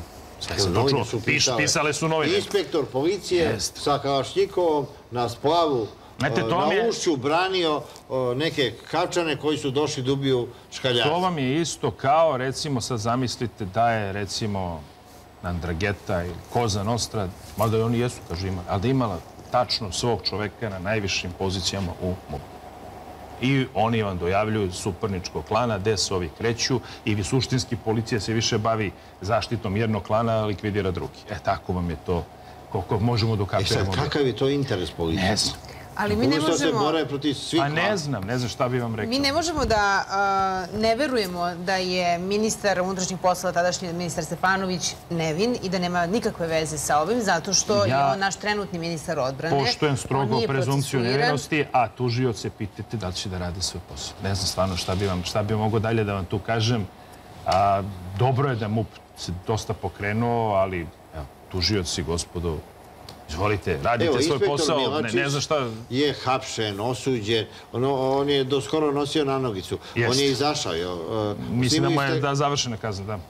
Nije, e, snimljeno je kad mu je istekla ka- kazna. Tačnije, u posljednje četiri godine policija je oduzela 13,7 tona narkotika, što je za čak 43% više nego u istom periodu pre toga. Strašno je kada izgubimo i jedan mladi život zbog konzumiranja narkotika. Ali MUP će uložiti sve napore da još smanji prisustvo sintetičkih i drugih droga na našim ulicama. Dosta toga je već urađeno. Prošle godine otkrivena prva laboratorija ekstazije u Srbiji, a zaplena sintetičkih droga je značajno povećana. U poslednje četiri godine oduzeto je milion i 800 hiljada tableta, što je tri puta više nego ranije. Kada je reč o ubistvima, zahvaljujući napornom i posvećenom radu Beogradske policije, rasvetljeno je više od polovine kriminalnih obračuna u Beogradu ove godine. To nije ni malo lak posao jer se radi o profesionalno izvedenim ubistvima. Poslednji u nizu rasvetljenih ubistava je ubistvo Luke Radulovića. Želim da napomenem da je značajno unapređena međunarodna policijska saradnja koja ranije skoro da nije ni postojala. Izuzeti rezultati su ostvareni u saradnji sa policijama Španije, Češke, Nemačke, Austrije i zahvaljujući tome su uhapšene i procesuirane mnoge organizovane kriminalne grupe koje su delovale na međunarodnom planu. Mnogo toga je urađeno i na suzbijanju kriminala i korupcije u redovima policije. Od dolaska ministra Stefanovića do danas procesuirano je 768 policijskih službenika, od kojih je 110 bilo rukovodilaca u MUP-u. Svi ovi podaci jasno govore da je prošlo vreme kada nije postojala iskrena volja da se država obračuna sa kriminalom. Dolaskom ministra Stefanovića taj period iza nas. Jer danas ne postoje kriminalci kojima policajac ne sme da priđe, da iznatraži dokumenta i da izvrši pretres njih i njihovog vozila. Za razliku od nekih ranijih perioda kada su kriminalci slobodno šetali ulicama i bili ugledni građani, koje niko nije smeo ni da pogleda, kamoli uhapsi, više nema zaštićenih. E, to su pitanja gde bi sad E, dobro, trebalo izvinjam da... se, samo da vas pitam. Sad, a, ovo što ste vi meni rekli, sadržina tog materijala je Da. poznata sudu. Sad jeste poznat, mislim, znamo o čemu I se ako radi. tu e, je navedeno, ako je tu Veljko Belivuk naveo da između ostalih poznaje ili u bilo kom kontekstu Pa, ne, o, spominje, da nešto kažem, to je ministra- forenzika njegovih telefona, sad da li on navodi ili neko ko s njim priča ili kako god, ali uglavnom pominju se zaista ti razni ljudi u, u a, razgovorima koje Belivuk ima sa Dobro, ja sad ljudima. pitam da kažem kao, kao pravni laik. e, Meni, ne, meni deluje nemoguće da ako se, to, ako, ako se ti ljudi spominju u tim prepiskama, da sud nije zainteresovan da, da njih sasluša, da, da čuje šta oni Pa imaju ne, da meni- kažu. meni je Vi ste predložili na poslednjem ročištu da Nebojša Stefanović uh, bude, uh, uh, sa, uh, uh, predložili ste ga za uh, Svedoka, svedoka, da. čak ste u jednom trenutku rekli da on znate treba da zašto? sedi na optuženičkoj klupi. Pa, znate, ne, ne zbog tih stenograma, nego prosto o, ja sam izneo svoj stav da je nemoguće da recimo po toj logici kako je tužilac nameračio se da odgovara Dijana Hrkalović ili drugo okrivljeni, ne znam, Dejan Milenković, koji su ljudi bukvalno primili naredbu, odnosno usmenu naredbu, usmeni neki nalog, primili, rečeno im šta da rade, a bili su na nižim pozicijama, da one kojim je zapravo izdao taj nalog usmeni, da one odgovore. Jer znate, ako Dijana Krkalović odgovara da je ona navodno izdavala neki usmeni nalog, pa šta onda ovo za ovo da kažemo? A pritom imamo A svedoka. kako je to moguće? Pa ne znam. Znači, ne znam, ka... makar da ga je pozvao kao svedoka Da. tokom istrage. Da. Nije ga ni pozvao ni, toko, ni kao svedoka tokom istrage. Zaista ne znam. Zato sam izrazio čuđenje da ako smo želeli da dođemo do istine, kako je moguće da nisi njega pozvao makar kao, kao svedoka. E to je, a, a da ne kažem ukoliko se to zaista ispostavi da je tako, jer on ima nikakve ingerencije da tako nešto radi, niti da tako nešto naređuje, niti da uopšte on razgovara sa višim javnim tužiocem. Šta ti imaš da razgovaraš sa višim javnim tužiocem kao ministar unutrašnjih poslova? Ko si ti da to radiš? E, da bi on čak na kraju, kada je to poslato inače ovaj, iz UKP-a ka višem sudu, on takođe rekao, e sad možete da pošaljete. To je isto Dijana Krkalović rekla u svojoj odbrani. On je rekao, kaže, sad možete da pošaljete. Znači, sve vreme je on to negde kočio. Znači, u celom procesu praktično ne postoji niko ko je rekao nešto drugo. Ne. Svi spominju da je, da je on... I ovaj, apsolutno, on se, on se mnogo ove- više u negativnom tom nekom kontekstu pominje nego bilo ko od ovih okrivljenih. Ali on ima jedan vrlo zanimljiv deo, a vezan je za a, nestanak snimka a, na kome, na kome se je, su zapravo snimljeni a, nek, direktor Srbija šuma, jedan od direktora, izvesni neki Ivan Brunović, i a, koji je inače bio na operativnim merama, za koga postoje, postojali su zahtevi policije i sud je odobrio da bude na operativnim merama, ne znam zašto su ga ovaj, pratili, ali je u tom, to, to, toj observaciji njegovoj, a, pošto njega mislim i audio i video a, observirali, u toj video jednoj observaciji a, je pokojni otac ministra unutrašnjih, tadašnjeg ministra unutrašnjih poslova, gospodina Nebojša Stefanovića, Branko Stefanović, uhvaćen u tom razgovoru u restoranu Maksim. I vrlo je zanimljivo šta se dogodilo s tim snimkom i to je obuhvaćeno ovim optužnim predlogom. To je već sada do odbrane do odbrane gospodina Milenkovića ne bi to da ulazim, ali mislim da će u tom delu to biti veoma, veoma zanimljivo kada on, bude se, kada on se bude izjašnjavao ovaj, 18. maja kada to bude zakazano. Znači, i tu se u nekom kontekstu spominje ministar Nebojša Stefanović. Pa znači, njegov, njegov otac, otac, da. Mislim da je nešto bilo, sad ako me, ja sam to pročitao, vezano je snimak, eh, oni su pratili tog Brunovića, šta li već, i uglavnom odjednom dolazi otac, pokojni otac eh, Nebojša Stefanovića i mislim da je razgovor bio za neku kupovinu nekog zemljišta na Divčibarama od Srbija šuma. Da li je njegov otac pokojni teo to da kupi, kako je to već bilo. Mislim, ima tamo u spisima, ja nisam to želeo da prosto time se bavim, jer to da. kolega se bavi time, ali verujem da će to biti poprilično zanimljivo. Uglavnom, tog snimka, um, navodno ga je neko, da, sklonio, šta je bilo, šta se desilo s tim snimkom, stvarno ne znam, to će već odbrana. I opet ni, ni u tom slučaju Nebojša da, Stefanović nije, opšte, nije, ne, nije, ne, nije opšte, predviđen za svedoka. Ne, ili... nije, nije, nije uopšte ni tu pozvan. Nije, nije po jednoj tački ovaj, nije on pozvan da se izjasni na ove okolnosti, u smislu makar da, da je svedočio. Meni to zaista bilo začuđujuće. Ove, na kraju kreva, ako je neko rekao, evo za onu prvu tačku, da je, da je Nataši Krivokapić bilo rečeno zove ministar, pa mogli su pozovu Natašu Krivokapić i da kaže, je li vama to zaista tako rečeno ili nije? Ni nju nisu tada pozvali, A, da ne govorim za gospodina Rebića koji je potpisao na kraju taj izveštaj vezano za ubistvo Vlastimira Miloševića koji je poslao tako višem sudu, pa red je bio da njega pozovu. Ovaj, da ga nešto pitaju koje svedoka, nisu ga pitali, to, onda su mi to da predložili. Da, na, da, na, nama, pravnim lajicima, deluje prilično, ne mogu, za ne postoji neka procedura da, da kažem, sud prosto mora da... Ne, ne, ovde... Da, kada, ili je to stvar ne, slobodnog ne, ne, ne, ovde kada tužilac vodi istragu, da. on ima pravo da zove razne svedoke na različite okolnosti da se izjasne u nečemu. Vodi čovjek istragu.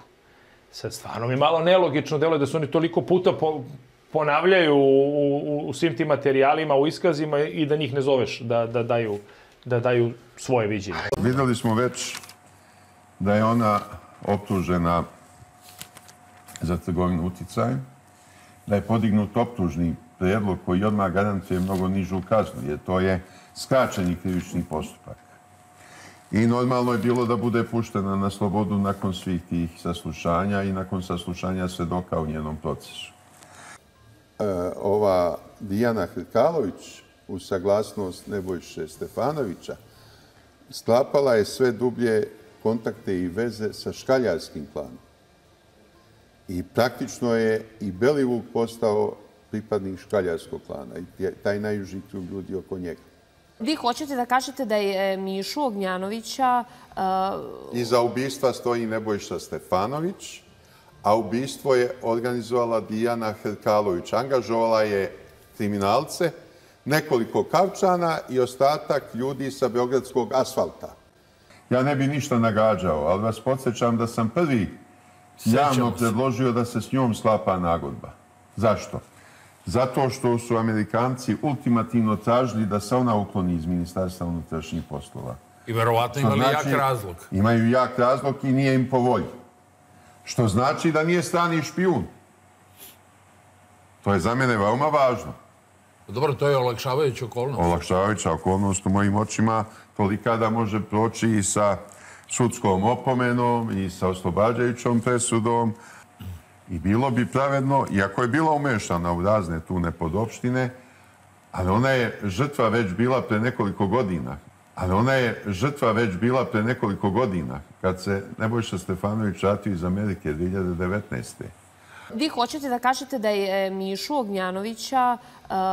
Iza ubistva stoji Nebojša Stefanović, a ubistvo je organizovala Dijana Hrkalović. Angažovala je kriminalce, nekoliko kavčana i ostatak ljudi sa Beogradskog asfalta. Marić, to tek kad uđeš u cijelu priču da shvatiš kolika je to mreža bila. Znači, vi imate ozbiljan strani faktor koji je svakako odrađivo čitavu priču.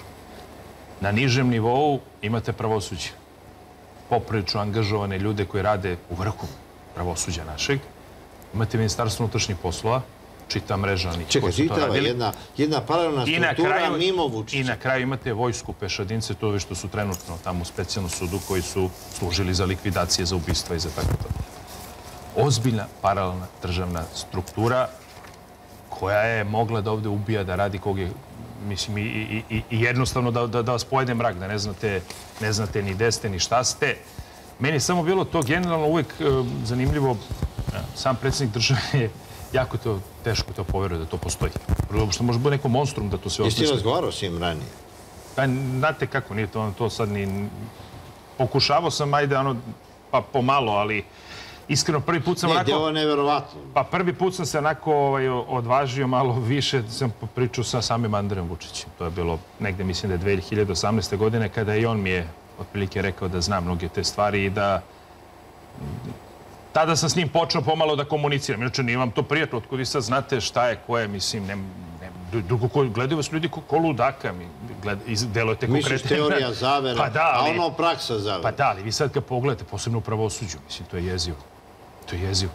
A onda, pogledajte, samo sad zamislite, evo, pogledajte, danima unazad se vodi kampanja gde na sve moguće načine pokušavaju da diskredituju ovo što je Koluvija rekao, ali sad ne njega, nego recimo diskreditacija mene. To ide sad do te mere e, na ličnom nivou uvrede da sam ja slabog znanja, da nisam nikakav advokat, da nemam pojma. Znači, potpuno nevjerojatno, to nikad nisu radili. I onda se zapitate, a zašto oni toliko vode kampanju vezano za ovaj predmet?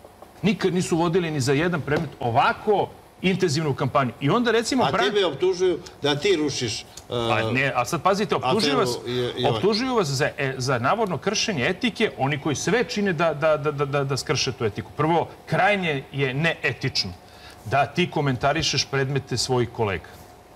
Ja to nikada ne bih uradio u životu. A ti se, kad komentarišeš, govorim ovde o nekim kolegama koji vise stalno tamo po N1, znači ti kad to radiš, ajde makar da, da si se koliko toliko stavio neku ulogu advokata već, ne, nego ti si govorio tužioca u tim emisijama. I oni se, da je njihov klijent u pitanju, oni bi sve živo uradili na ovom svetu i vršili pritisak da se protiv njihovog klijenta ne podigne optužnice, ne znam šta činili. Ali obrnuto, sad kad im to politički negde odgovara, e sad, otprilike onaj Đukanović, sram ga bilo, ne znam Evo, šta... radi. juče su te ceo dan u svim Ma, vestima. to ne možete da verujete. A šta god kažeš u bio, na bilo ali, kom ali mediju, znate kako, ja, ja sad ovako, ja se samo nasmijem. Znači, jedan bizon, jedan, jedna neznalica, glupak, zatucani, a, nikakav advokat, sa jednim YouTube-om srušio vam je celu koncepciju. Sve to što ste zamislili da uradite, srušeno vam je sa jednim Sve YouTube-om. strane službe, I samo vi mene... sa- ja- ja inače- propaganda. Tako je. Ja, samo, ja inače uvek navijam, samo vi nastavite da pišete, pričate, šta god hoćete, vređete dokle vam je, koliko vam je volja. Ja moram da kažem... e, Ali kad te neko napadne, moraš da se braniš. Ja sam ovako, što se, ovo, ovo su ko zna koji izbori. Ne možeš da se smeješ. Ovo su mi ko zna koji izbori. Ne, ne, ne, ne mogu više ni da zapamtim. Ja sam vrlo aktivan, od svoje 18. godine sam član bio Srpske radikalne stranke. O 97. su ono prvi zvanični izbori da sam glasao. A nikada ovako motivisan nisam bio. Pa vidim po tvoje Ne, njerki. nikada nisam ovako motivisan bio zato što zaista e, razumem e, šta neko želi da uradi od ove zemlje. Ja neću da ovo bude zemlja da će tajkuni da, da, da, da vladaju. Dobro, ja to ne je želim jasno da- i narodu negde, Pa apsolutno. ja se nadam, ali zato moramo da uložimo treba- svaki atom snage da se to ne bi dogodilo. Znate, to su milijarde evra protiv Vučića. Pa, znate, jako je teško boriti se, vi nemate te resurse. To govorim celom narodu sada, svim ljudima. Nemoj da vas lažu. Naša stranka ima dovoljno novca. Imamo mnogo novca jer taj novac ne trošimo i ne bacamo. Mnogo novca imamo koje dobijamo regularnim putem iz Skupštine Srbije, zahvaljujući ogromnom broju narodnih poslanika u skladu sa zakonom, a još smo to smanjili, naša primanja za 33%, ako se sećate. Zakonski. Imamo ogroman novac. Na šta da ga potrošimo? Na šta da ga trošimo? Ne trošimo ga ni na šta. To ne bi dogodilo, znate, to su milijarde evra protiv Vučića. Pa, znate, jako je teško boriti se, vi nemate te resurse. Ali kad smo govorili o, o ekonomskoj stabilnosti, sad ću citirati ono što se pojavljuje u medijima. Kako je moguće da niste primetili da fali ili da nema 640 miliona u budžetu koje su... Ajde, nemojte 640 miliona, to je pretarano, mislim, to je... I nije 640 miliona, nego je to kroz 8 godina napisano 640 miliona, ali to je... Ja vam citiram ono što piše što dolazi do javnosti. Pa dobro, to što piše, piše, nemojte se ljutiti i na tarabi svašta, pa se niko ne zaleće na tarabu. Dakle, puste 640 miliona su velike pare, 640 miliona imaju neki drugi koji se time pohvalili. 640 miliona su pretarani novci. A nađite, nađite Vučiću evro. Molim vas, nađite. Evo, vodite kampanju najprljaviju, koliko već, evo, deveta godina. Jeste mu našli bilo šta osim glupavih priča o tome da nosi ove patike ili da nosi ovaj džemper? Bez veze. Ili da nosi ovakav sako? Jeste mu našli nešto? Jeste li? Niste. Kako je moguće da niste primetili da fali 640 miliona u budžetu koje su... Ajte, nemojte 640 miliona, to je pretarano, mislim, to je... I nije 640 miliona, nego je to kroz 8 godina napisano 640 miliona, ali to je... Ja vam citiram ono što piše što dolazi do javnosti. Pa dobro, to što piše, piše, nemojte se ljutiti na tarabi svašta, pa se niko ne zaleće na tarabu. Mi sad znamo da je, da je optužuju. e, predsjednik Futbolskog saveza kontrolisao carin. Da je on otvarao rampe za ulaz e, Pa kamiona to sa on, on je- drogom. On je učestvovao jedan od. Čekaj, da To je postoji oči- jedan mehanizam za slobodne kanale droge preko Srbije i ko zna kakve. Mariću, pogledajte vi u to. U to je umešane, u tom su umešane državne strukture, ne samo u Srbiji, nego u više zemalja. I kad vi to, kad razmislite logično o tome, Slobodni prolaz droge, sve da ko ništa ne zna znate, kuda. Marić, evo sad mi recite ovako. Dakle, imate u zvaničnim papirima, ne jedan, nego nekim danima i više kamiona, a nedeljno bar 3, 4, nekim danima, nekim nedeljama i deseta kamiona, koji formalno papirima carinskim voze od Bara ili Podgorice prazni do e, Rumunije, e, Mađarske, Hrvatske, najčešće do Rumunije. Tamo su imali najbolju kombinaciju. Dakle, a u stvari su ti kamioni puni cigareta. I sad on dođe iz Bara, e, Podgorice, dođe na granični prelaz sa Srbijom, propuste ga crnogorski carinici, što i nije čudo, tamo je e, država poprilično mafijaška i švercarska, kao što znamo, odavno. Onda uđe ovom kombinacijom kriminalnom, očigledno je tu umešani Kokeza, kažu i, i još neki, iz vrha, vidjet ćemo ko sve, i onda taj kamion ide kroz Srbiju. Niko ne sme da ga pipne. Niko ne sme da ga zaustavi. Saobraćajac. Ako ga zaustavi slučajno saobraćajac, odmah mu se javlja puštaj. Dolazi i on takav prolazi našu granicu, opet po nečijem nalogu, iz vrha, i onda ulazi u Evropsku uniju. Po, očigledno, zašto bi ga pustio carinik Evropske unije da uđe na teritoriju Evropske unije? Šatro prazan kamion. Pa evo jutro dok sam dolazio kod vas, ja ne verujem šta sam vidio. Optužuju sad, eh, sad izmišljaju da je predsjednik Vučić eh, u, u tajnoj vezi sa jednim, jednim eh, novinarom. Šta? Sa jedne, suprotne, sa jedne suprotne, sa jedne druge televizije. Dakle, da je u tajnoj vezi sa... Je sa, predsjednik u vezi sa sa, nekim... sa jednim našim kolegom, novinarom, da ne pominjem sad, vidjet će ljudi da... Dakle, čekajte, prvo su tvrdili da je, da je, da je e, neki švaler, da ima neke, e, ne znam, ovakve, onakve žene, da, da, da je e, izmišljali, poturali. Sad odjednom izmišljaju da je homoseksualac. Može sve, Pa šta je sledeće? A šta je sledeće? Ali znate zašto oni to rade? Znate zašto oni to rade? Zato što ne mogu njemu da nađu ni jedan račun. I sad vi se pohvalite da ste u vreme svoje vlasti, on se pohvali da je prihodovao 619 miliona evra. Samo za vreme boravka na vlasti. Zamislite, poštovani narode, da za vreme boravka na vlasti se pohvalim javno da je moja firma, imam vremena da se bavim privatnom firmom, jer znam da saberem dva i dva, mnogo sam pametan, to je moj mašinski mozak, dakle, imam 620 miliona evra prihoda. Bolje, a recite mi, zar niste primetili kod nekih ljudi u vašem okruženju da žive iznad Jesam. prihoda koje, koje Jesam i na mogu da imaju? predsjedništvu stranke sam o tome govorio. Da, ali kakve su posljedice za njih? Osim što ste ih ukorili. Ali kad smo govorili o, o ekonomskoj stabilnosti, sad ću citirati ono što se pojavljuje u medijima. Kako je moguće da niste primetili da fali ili da nema 640 miliona u budžetu koje su... Ajte, nemojte 640 miliona, to je pretarano, mislim, to je... I nije 640 miliona, nego je to kroz 8 godina napisano 640 miliona, ali to je... Ja vam citiram ono što piše što dolazi do javnosti. Pa dobro, to što piše, piše, nemojte se ljutiti i na tarabi svašta, pa se niko ne zaleće na tarabu. Dakle, puste 640 miliona su velike pare, 640 miliona imaju neki drugi koji su se time pohvalili. 640 miliona su pretarani novci. Ali sad kad kažemo za, i za te druge, za Ali koje, še- i za koje 600 spominjete... Ali samo da znate, tih 640 miliona i ti koji su pominjali, je to za 7-8 godina, a ne, ne u godinu dana. To je kakvih 640 miliona, ogromna novost, to biste odmah videli. Ne bi ova priča o Belivuku krenula da američke bezbednostne strukture, pre svega DEA, koje je borbi protiv FBI. mafije i FBI koji imaju svoje instalacije i moće su čak od MUPA Srbije, nisu rekli dosta. Ne može ovako da se radi na Balkanu. Ne može da taj afganistanski ili kokainski put iz Crne Gore preko Mila Đukanovića da se ukršta na Prijepolju i, i, i ovaj Jabuci gde je poginuo nekada Boško Buha Dobro.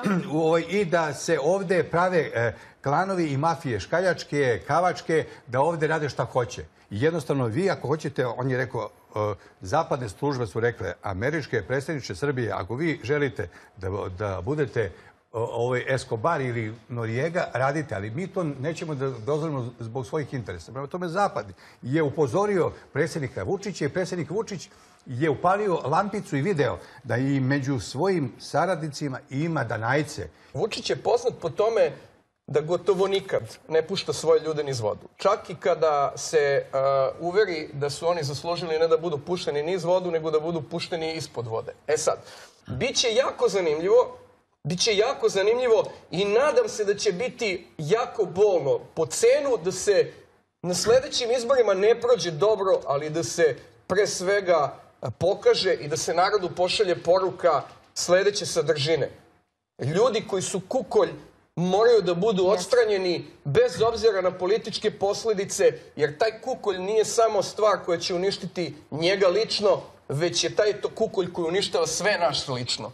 I najbolji način da svom narodu pomognete je da ljude koji čine zlo iz sobstvenog okruženja se lišite. Ne postoji brat, ne postoji otac, ne postoji najbolji prijatelj, te ne postoji brat, te ne postoji brat. Ljudi iz njegovog najbližeg okruženja već godinama učestvuju u pričama koje su sada na kraju postale očigledno premije. Pa premjerni film koji će se emitovati i u čini Skopu. se da i- Da se razumemo, Vučića oni ne vide ko prijatelja. Te, u politici ima jako malo prijateljstava. Pa nema Vučića vide kao vreću, ti ljudi oko njega, kao vreću novca u koju se gura ruka i vadi se koliko, koliko misli se da je potrebno. A recite mi, zar niste primetili kod nekih ljudi u vašem okruženju da žive iznad Jesam. prihoda koje, koje Jesam i na mogu da imaju? predsjedništvu stranke sam o tome govorio. Da, ali kakve su posledice za njih? Osim što ste ih ukorili. Osim što sam ih ukorio, neki već nisu na funkcijama. Neće ni biti. I to ćete tek da vidite. A neki su već izgubili te funkcije. Šta znači da ćemo da vidimo? Nećete nam sad reći, nego ćemo saznati Dobro, ko, nisu, ko nije na posle izbora. Pogledajte kako je ta stranka... Ali bit će znači narednih najmanje godinu dana na funkcijama do izbora. Ne, neki već nisu na funkcijama. Šta je sa onima koji jesu? Oni koji jesu, neki će biti ranije, neki će biti nešto kasnije smenjeni, ali će svakako biti smenjeni. A naravno, bit će velikih promjena u SNS-u i na kongresu stranke. Vidjet ćemo kada ćemo moći da ga održimo, tako da je to drugo pitanje. U neki bolji... A recite mi, zar niste primetili kod nekih ljudi u vašem okruženju da žive iznad Jesam. prihoda koje, koje Jesam i mogu na da imaju? predsjedništvu stranke sam o tome govorio. Da, ali kakve su posledice za njih? Osim što ste ih ukorili. i sole pamet Siniše Malom koji je bio jedan od najboljih studenta. Dakle, sole pamet njemu oni koji studiraju 15 godina. I sad, i, sad, i, sad vi meni, I sad vi meni hoćete da pričate o tome kako je to ne znam kakva afera, a imamo najbolje stanje u budžetu i najbolje stanje naših javnih financija i sad bi trebalo mi da potrčimo svaki put kada Đilas, koji je opljačkao ovu zemlju, jer sam je, ne zaboravite, on sam je rekao, ne ja, ne Vučić, ne vi, On sam je rekao da su prihodi njegovih privatnih firmi u vreme dok je bio vlast u ovoj zemlji 619 miliona evra. 619 miliona evra, od toga čisti profit 105 miliona evra. To je rekao Dragan Pa Đilas. i za to su nadležni državni organi pustite ukoliko postoji nadležne državne organe, za to je, ovo je istina. Ma nezakonitosti naravno da postoji, ispituju se i u ovoj kući. A sad nevezano za to šta ja mislim o tome, naravno će nadležne organe rade. Ja vas pitam, gde je moral? Ali kad smo govorili o, o ekonomskoj stabilnosti, sad ću citirati ono što se pojavljuje u medijima. Kako je moguće da niste primetili da fali ili da nema 640 miliona u budžetu koje su... Ajte, nemojte 640 miliona, to je pretarano, mislim, to je... I nije 640 miliona, nego je to kroz 8 godina napisano 640 miliona, ali to je... Ja vam citiram ono što piše i što dolazi do javnosti. Pa dobro, to što piše, piše, nemojte se ljutiti i na tarabi svašta, pa se niko ne zaleće na tarabu. Dakle, puste 640 miliona su velike pare, 640 miliona imaju neki drugi koji se time pohvalili. 640 miliona su pretarani novci. Ali sad kad kažemo za, i za te druge, za Ali še- koje, za koje 600 spominjate... Ali samo da znate, tih 640 miliona i ti koji su pominjali, je to za 7-8 godina, a ne, ne u godinu dana. To je kakvih 640 miliona, ogroman novost, to biste odmah videli.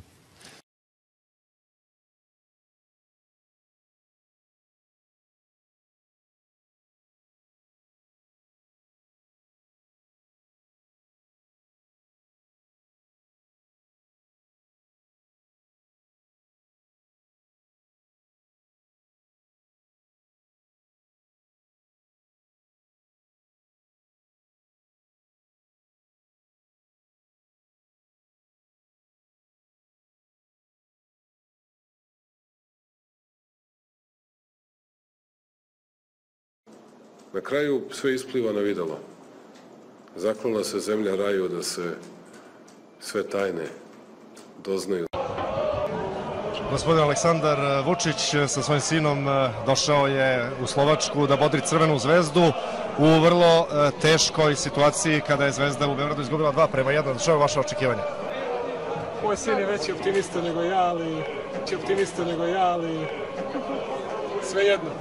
Sve najbolje u želim. I evo da vas ja sad pitam, kažete mi, a šta sam to ukrao negde? A gde to imam nešto, a da nisam imao 2012. godine? I sad ćete da vidite kakvi su to lažovi.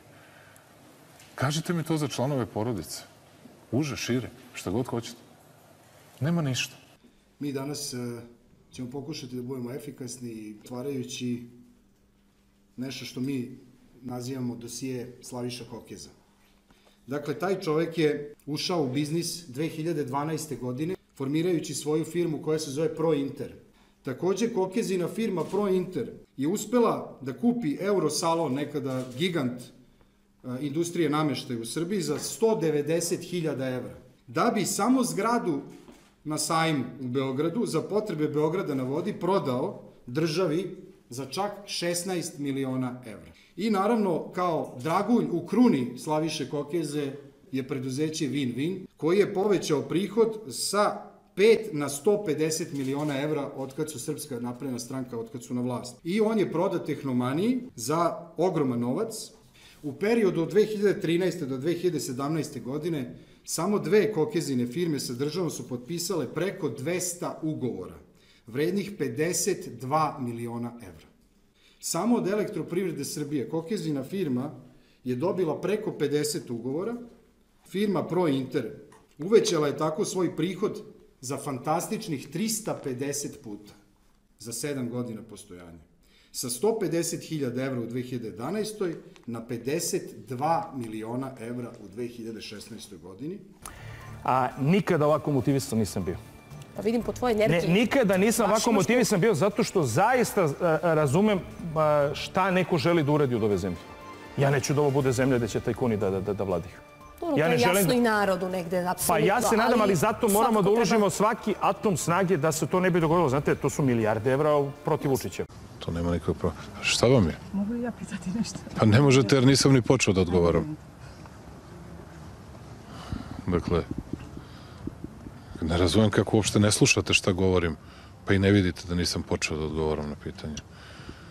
Keve vam, što bi rekli klinci. Pa i ti do Jugoslavije, Šta to ljudi e, vi od oružja Jeste- više Jeste vi jeli bunike, na koji, koju drogu pijete, što bi rekao moj pokojni deda Milo?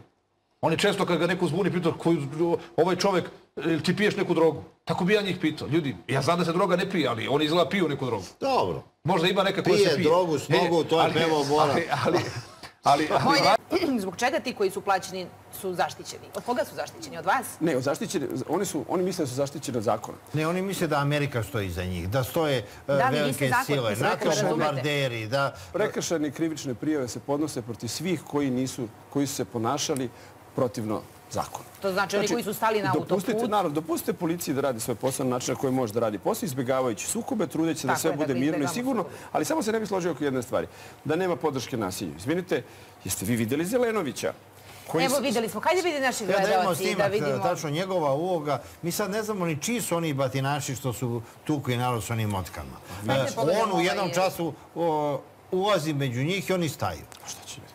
Mi sad ne znamo ni čiji su oni batinaši što su tukli narod s onim motkama. E, on u jednom ovaj- času o, ulazi među njih i oni staju. Šta će biti? Hajde pogledamo.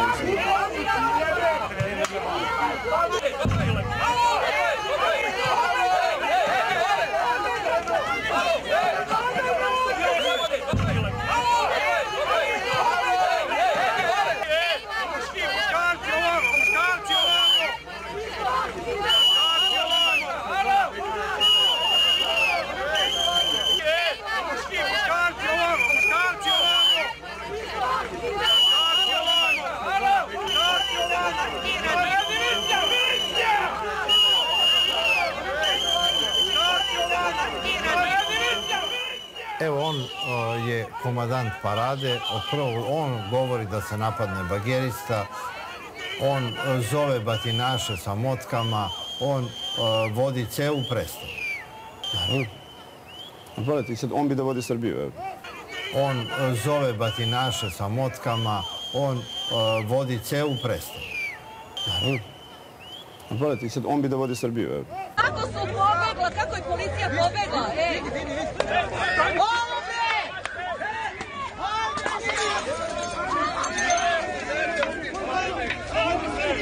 Radi bre! Radi bre! E,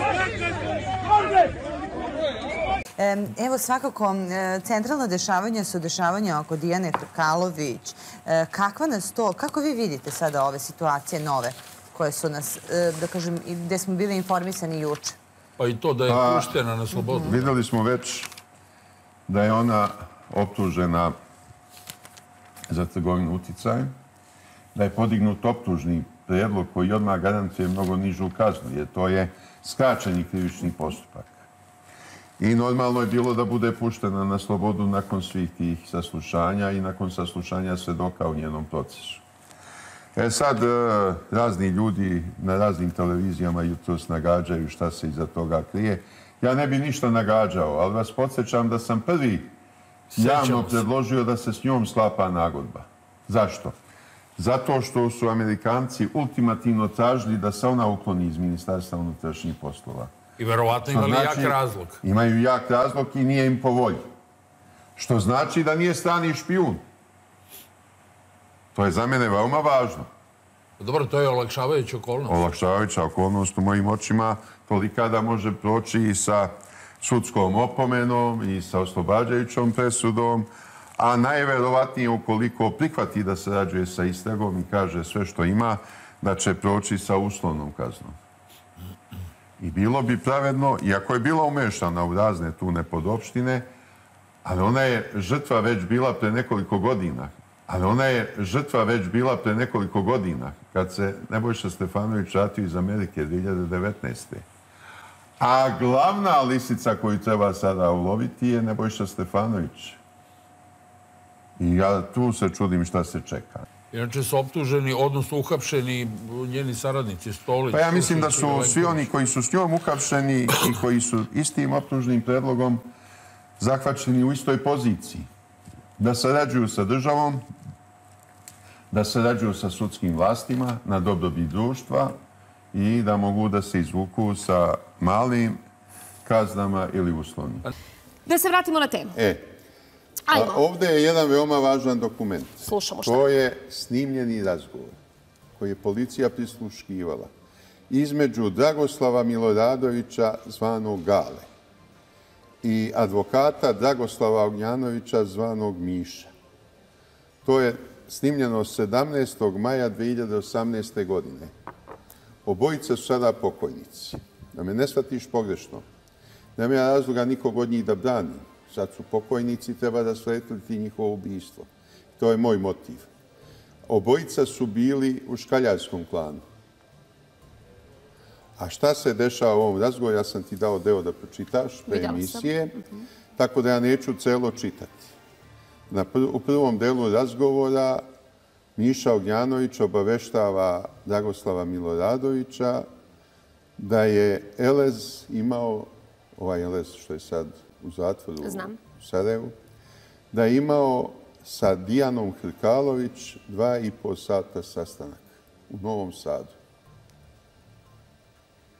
I da on tamo okuplja neku e, ekipu tamo mlađih ljudi da posluže za određene poslove. Pa onda govore o raznim drugim postupcima Dijane Hrkalović i čak joj pominju i neke ljub- ljubavnike i da je ona u sprezi sa Nebojšom Stefanovićem. A Miša Ognjanović je imao veliki dosije Nebojše Stefanovića i njegovog oca sa dokumentima o skoro svim njihovim kriminalnim aferama. Ovaj razgovor je snimala policija, ali nema pismene dozvole nadležnog sudije da se snima razgovor. I nema u policijskom registru na spisku ovoga dokumenta. A pitanje je da li ga uopšte neki policajac sada ima. Jer je to uništavano. Tako su radili kad bi snimali Vučića. Dobro. Snime Kako? gomilu tekstova i onda unište. Nema nigde u evidenciji i nema dozvole nadležnog sudije. Iza toga je svega stajao Nebojša Stefanović. Ovo je bio povod da se ubije Dragoslav Miša Ognjanović. Informacije koje je A- posjedovao. A njegov taj dosije o Nebojši Stefanoviću i njegovom ocu Branku netragom je nestao. A Dragoslav Miloradović Gale bio je najpoveljeviji čovek Luke Bojovića. I preko njega je Luka Bojović ostvarivao kontakt sa svojim klanom. To su ovi škaljarci. Škaljarci nisu bliski Milu Đukanoviću, zato su ovako teško stradali, ima ih preko 30, valjda ubijenih, ne znam tačan broj. A e, ova Dijana Hrkalović, u saglasnost Nebojše Stefanovića, sklapala je sve dublje kontakte i veze sa škaljarskim klanom. I praktično je i Belivuk postao pripadnik škaljarskog klana i taj najuži krug ljudi oko njega. On se slobodno kretao po Crnoj Gori, uživao policijsku pratnju, kao persona grata, viđao se i sa Milom Đukanovićem čak. Vi hoćete da kažete da je Mišu Ognjanovića uh, Iza ubistva stoji Nebojša Stefanović, a ubistvo je organizovala Dijana Hrkalović. Angažovala je kriminalce, nekoliko kavčana i ostatak ljudi sa Beogradskog asfalta. Ja postavljam direktno pitanje državi. Da li sada državni organi raspolažu svojim dokumentom? Ako ne, ja sam spreman da ga predam lično ministru policije. Aleksandru Vulinu, ako zatraži od mene. Ja neću krivične prijave nikad pisati, ja to nisam radio. Moje je da javnost obavestim šta se dešava. A napadam ponovo vlast, što Nebojša Stefanović još uvek nije u zatvoru. a, to su sad To jako su veoma ozbiljne... krupne stvari, nema Da, oko toga igre. to su ozbiljne stvari. Dijana Hrkalović i on. On, kad su mu to Amerikanci tražili, on se lako tarasio Dijane Hrkalović. Rekao, ona ide na drugu funkciju i nikad nije dočekala drugu funkciju. I sad je odijum u javnosti najviše na nju, umjesto da bude na njega. I za svega on stoji. A, a, za, Miša Ognjanović, kao što ste rekli, vezano za te dosije, je li on to imao na kontu čega? Što je bio nekada u policiji? Ma ne znam ja na konto čega je on toga imao, on je to strpljivo skupljao. On ima imao je razgranat broj prijatelja. Među advokatima, među policajcima, među tužiocima, među sudijama. Nije on bio bilo ko. On je bio poznati kao pravni savjetnik, jedan od dvojice pravnih savjetnika Slobodana Miloševića u Hagu. Pored Zdenka Tomanovića. Kasnije se priključio Branko Rakić. On je tad bio glavni i najbolji pravni savjetnik. Profesor sa pravnog. Profesor sa pravnog fakulteta, da. Da, evropske integracije predaje. On je pripremao moje svedočenje kod Miloševića, spisak pitanja za Miloševića, tako da je Milošević bio najzadovoljniji mojim svedočenjem. Bio je zadovoljan svedočenjem i nekih drugih, naravno, ali mojim najzadovoljniji. Jer smo rasturili optužbu za udruženi zločinački poduhvat i optužbu za Veliku Srbiju. To su dve ključne stvari. I raskrinkali smo događaje u Račku. Ali da se vratimo na ovo. Deo policije je ubio Mišu Ognjanovića, prema vašem mišljenju. Deo policije po nalogu Nebojše Stefanovića. Ne, kriminalci su bili izvršioci. A deo policije su Nebojša. Stefanović, Dijana Hrkalović i njihovi saučnici i to- iz tog najužeg kruga o kome ja još nisam spreman da govorim dok mi se dokumenti ne Kako ste vi došli do tog uh, E, pa kako, ne, papira, ne bi ti valjda to rekao kako sam došao. Golub mi donao. Golub pismonoša. Kad sam ja otkrivao svoje izvode? Dobro, pitam. Moji su izvori bili pouzdani, to je važno. I tek kad se uvedim u pouzdanost, ja idem u javnost. Nisam hteo da govorim odmah u prošloj emisiji, hteo sam neke stvari da proverim. I rekao sam ti, za sedam dana ću sve proveriti i sve tačno. Jeste, rekli ste. Zna, zna policija, zna država za ovo. Samo ne znam da li posjeduje ovo. I vi ste spremni to da date? Evo, lično Ministru ministru. Vulinu. Lično ministru, pa to je moj nivo, valjda ne mogu ja sad ići to u policijsku stanicu da predajem. Ili da podnosim krivične prijave, ne. Ako ministar izrazi interes, lično ću mu predati. To je baš... Čak i druga neka dokumenta uz to. I znate, nisu sva ta dokumenta, zašto sam donao samo jedan dokument, nisu ta sva dokumenta za objavljivanje, ako krene istraga, da ne pokvarim nešto u istrazi. Ja i o tome vodim računa. Razumete? Treba Da li zbog toga ovoliko dugo se odugovlači sa pronalaženjem ubica Pa, više? očigledno je istraga teška. Ali mora se privesti kraju. Da. A do sad niko nije znao ni motiv. Evo Pa motiva. Evo motiva, ovaj prisluškivani razgovor je više nego dovoljan motiv. Pričalo se po, vezano za to što je Miša branio neke od e, pripadnika klanova, pa da je na toj relaciji nastao problem. Slušajte, uvek advokati brane pripadnike klanova. Pa i to što kažete. Pa da. A onda on nije bio značajan u ovom klanu škaljarskom. Bio je njihov pripadnik. Ali nije bio pucač, nije bio likvidator. On je bio zadužen da ih vadi iz zatvora, da ih brani, da im pomaže na druge Što načine. znači da prema vašem mišljenju nisu mafijaši, odnosno ljudi iz klanova ubili e, Mišu, nego je nalogodavac bio Ja neko iz policije. rekao Kriminalci da- su da samo izvršili. kriminalci, tu, je, tu su i neki koji pripadaju Kavačkom klanu direktno i neki sa Beogradskog asfalta koji nisu članovi Kavačkog klana. To je dakle kombinovana akcija bila. Iza svega stoji Nebojša Stefanović. I on mora da ode u zatvor, ma nema načina da se to spreči. Dobro, On mora da ode u zatvor. Evo, ili ja u zatvor ili on. Nema šta više da se razmišlja. Evo, ja pozivam državu da hapsi mene ili Nebojšu Stefanovića. Već vidim naslov. Nebojša Stefanović u zatvoru. Hapsite mene ili Nebojšu. Pa da, ovo je izazov u lice. Da. Neće ja više da se igramo kod toga. Ja sam objavio knjigu Nebojši Stefanoviću Smrdljiva slina sa lažnom diplomom. Nebojša Stefanović. Danas delim narodu u Knez Mihajlove ulici i tu knjigu. I mnoge druge o raznim srpskim izdajnicima. O, Milo, o ovome Draganu Đilasu, Mariniki Tepić, Vuku Jeremiću i ostalima. Sonji Biserko, naravno, i ostalima. E, ja mislim, A Dijana Hrkalović? pa nisam o njoj još spremao knjigu. Ja sam imao ideju u početku da insistiram, insistirao sam, da se njoj ponudi da bude zaštićeni svedok, jer ona najviše zna. A najvažnije je ministar trpati u zatvor ako je, ako je ogrezao u kriminalu i u izdaji. To je moja ideja bila. Međutim, kako se stvari razvijaju, ona je tu duboko u to zašla. Da li sad još postoje mogućnosti za nagodbu s njom da bi se došla protiv Nebojše, treba da vide nadležni državni organi. Nije moje da to ispitujem, niti nju da tražim da je pitam oče li. Nisam Da. ja uvlašen ni za šta.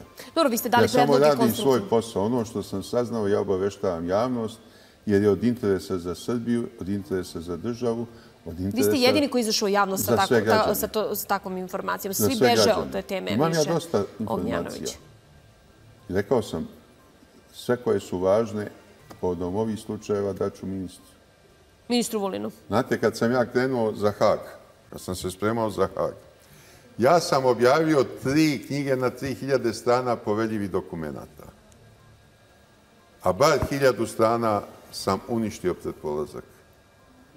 Da njihovim objavljivanjem ne bi naneo štetu Srbiji.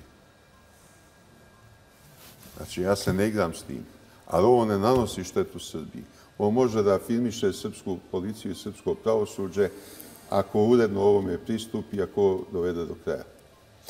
Dobro. A ako se pređe preko ovoga, onda je to poziv svim ostalim slobodno. Pravite krivična dela, niko vam ništa ne može. Šta? Kako će biti reakcija na vaš ovaj intervju? Evo i mene interesuje kako će biti reakcija, kako će režim da, da reaguje. Da biste direktno izašli sada ovo i rekli. Pa eto, nema sad. I to zamislite na Pinku. Evo svakako, centralna dešavanja su dešavanja oko Dijane Hrkalović. E, Kakva nas to, kako vi vidite sada ove situacije nove koje su nas, e, da kažem, i gde smo bili informisani juče? Pa i to da je Pa, puštena na slobodu. Videli smo već da je ona optužena za trgovinu uticajem, da je podignut optužni prijedlog koji odmah garantuje mnogo nižu kaznu, jer to je skraćeni krivični postupak. I normalno je bilo da bude puštena na slobodu nakon svih tih saslušanja i nakon saslušanja svedoka u njenom procesu. E sad, e, razni ljudi na raznim televizijama jutros nagađaju šta se iza toga krije. Ja ne bi ništa nagađao, ali vas podsjećam da sam prvi javno predložio da se s njom sklapa nagodba. Zašto? Zato što su Amerikanci ultimativno tražili da se ona ukloni iz Ministarstva unutrašnjih poslova. I verovatno imali znači- jak razlog. Imaju jak razlog i nije im po volji. Što znači da nije strani špijun. To je za mene veoma važno. Dobro, to je olakšavajuća okolnost. Olakšavajuća okolnost u mojim očima tolika da može proći i sa sudskom opomenom i sa oslobađajućom presudom, a najverovatnije ukoliko prihvati da se rađuje sa istragom i kaže sve što ima, da će proći sa uslovnom kaznom. I bilo bi pravedno, iako je bila umešana u razne tu nepodopštine, ali ona je žrtva već bila pre nekoliko godina. Ali ona je žrtva već bila pre nekoliko godina, kad se Nebojša Stefanović vratio iz Amerike 2019. A glavna lisica koju treba sada uloviti je Nebojša Stefanović. I ja tu se čudim šta se čeka. Inače su optuženi, odnosno uhapšeni njeni saradnici, Stolić. Pa ja mislim da su svi oni koji su s njom uhapšeni i koji su istim optužnim predlogom zahvaćeni u istoj poziciji. Da sarađuju sa državom, da sarađuju sa sudskim vlastima na dobrobit društva i da mogu da se izvuku sa malim kaznama ili uslovnim. Svi pričaju da su ta posebna neka odeljenja koje su napravili, da tu suštinski Dijana Hrkalović pravila svoje odeljenje. Svi pričaju da su ta posebna neka odeljenja koje su napravili, da tu suštinski Dijana Hrkalović pravila svoje odeljenje. Ima li istinu u Tako tome? je. Kada, kada, kada je bilo nemoguće da se e, napravi, da se svi smene, svi pomere, što je masovno, što bi bile tužbe, žalbe i tako dalje, što bi u javnosti bilo zaista veliki, veliki peh, ovaj, š, e, oni su pravili nešto novo. Ajde napravimo nešto novo. Evo, konkretno, u službi za borbe protiv organizovanog kriminala postojalo odeljenje za dežurstvo i telekomunikacije, koje je zaduženo bilo za obezbeđenje zgrade, za tehničke zaduživanje motorova i tako dalje. Preko noći je ugašeno, za, poslati su ljudi koje, koje kuda na niža, neka, niža radna mesta, a u, za tih 30 ljudi koje su brojali, oni su doveli duvi 30 ljudi i oformili nešto novo. Nešto novo što njima, što je trebalo u tom trenutku. Za te neke potrebe koje su, koje su koristili. Koliko je u tim fajlovima ima fajlova vezanih za predsjednika Republike, sadašnjeg, tadašnjeg predsjednika vlade i sve? Znate kako, uh, ja sam zaključio da je uh, jedan veliki deo, da kažemo, ajde, 70% stvari neposredno, odnosno posredno vezano za njega, članove njegove porodice, njegove najbliže saradnike.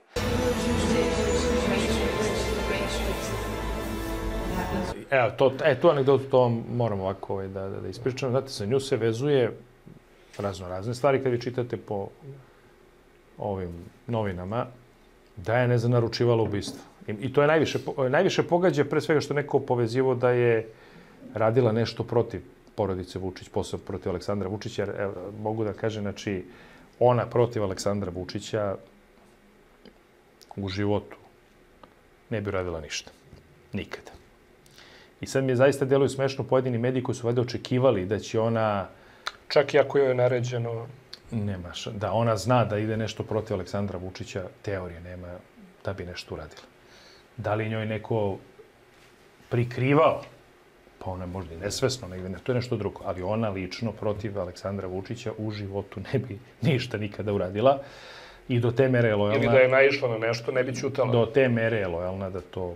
Dijana Hrkalović je žena koja bi mogla da odgovori na pitanje tužilaca.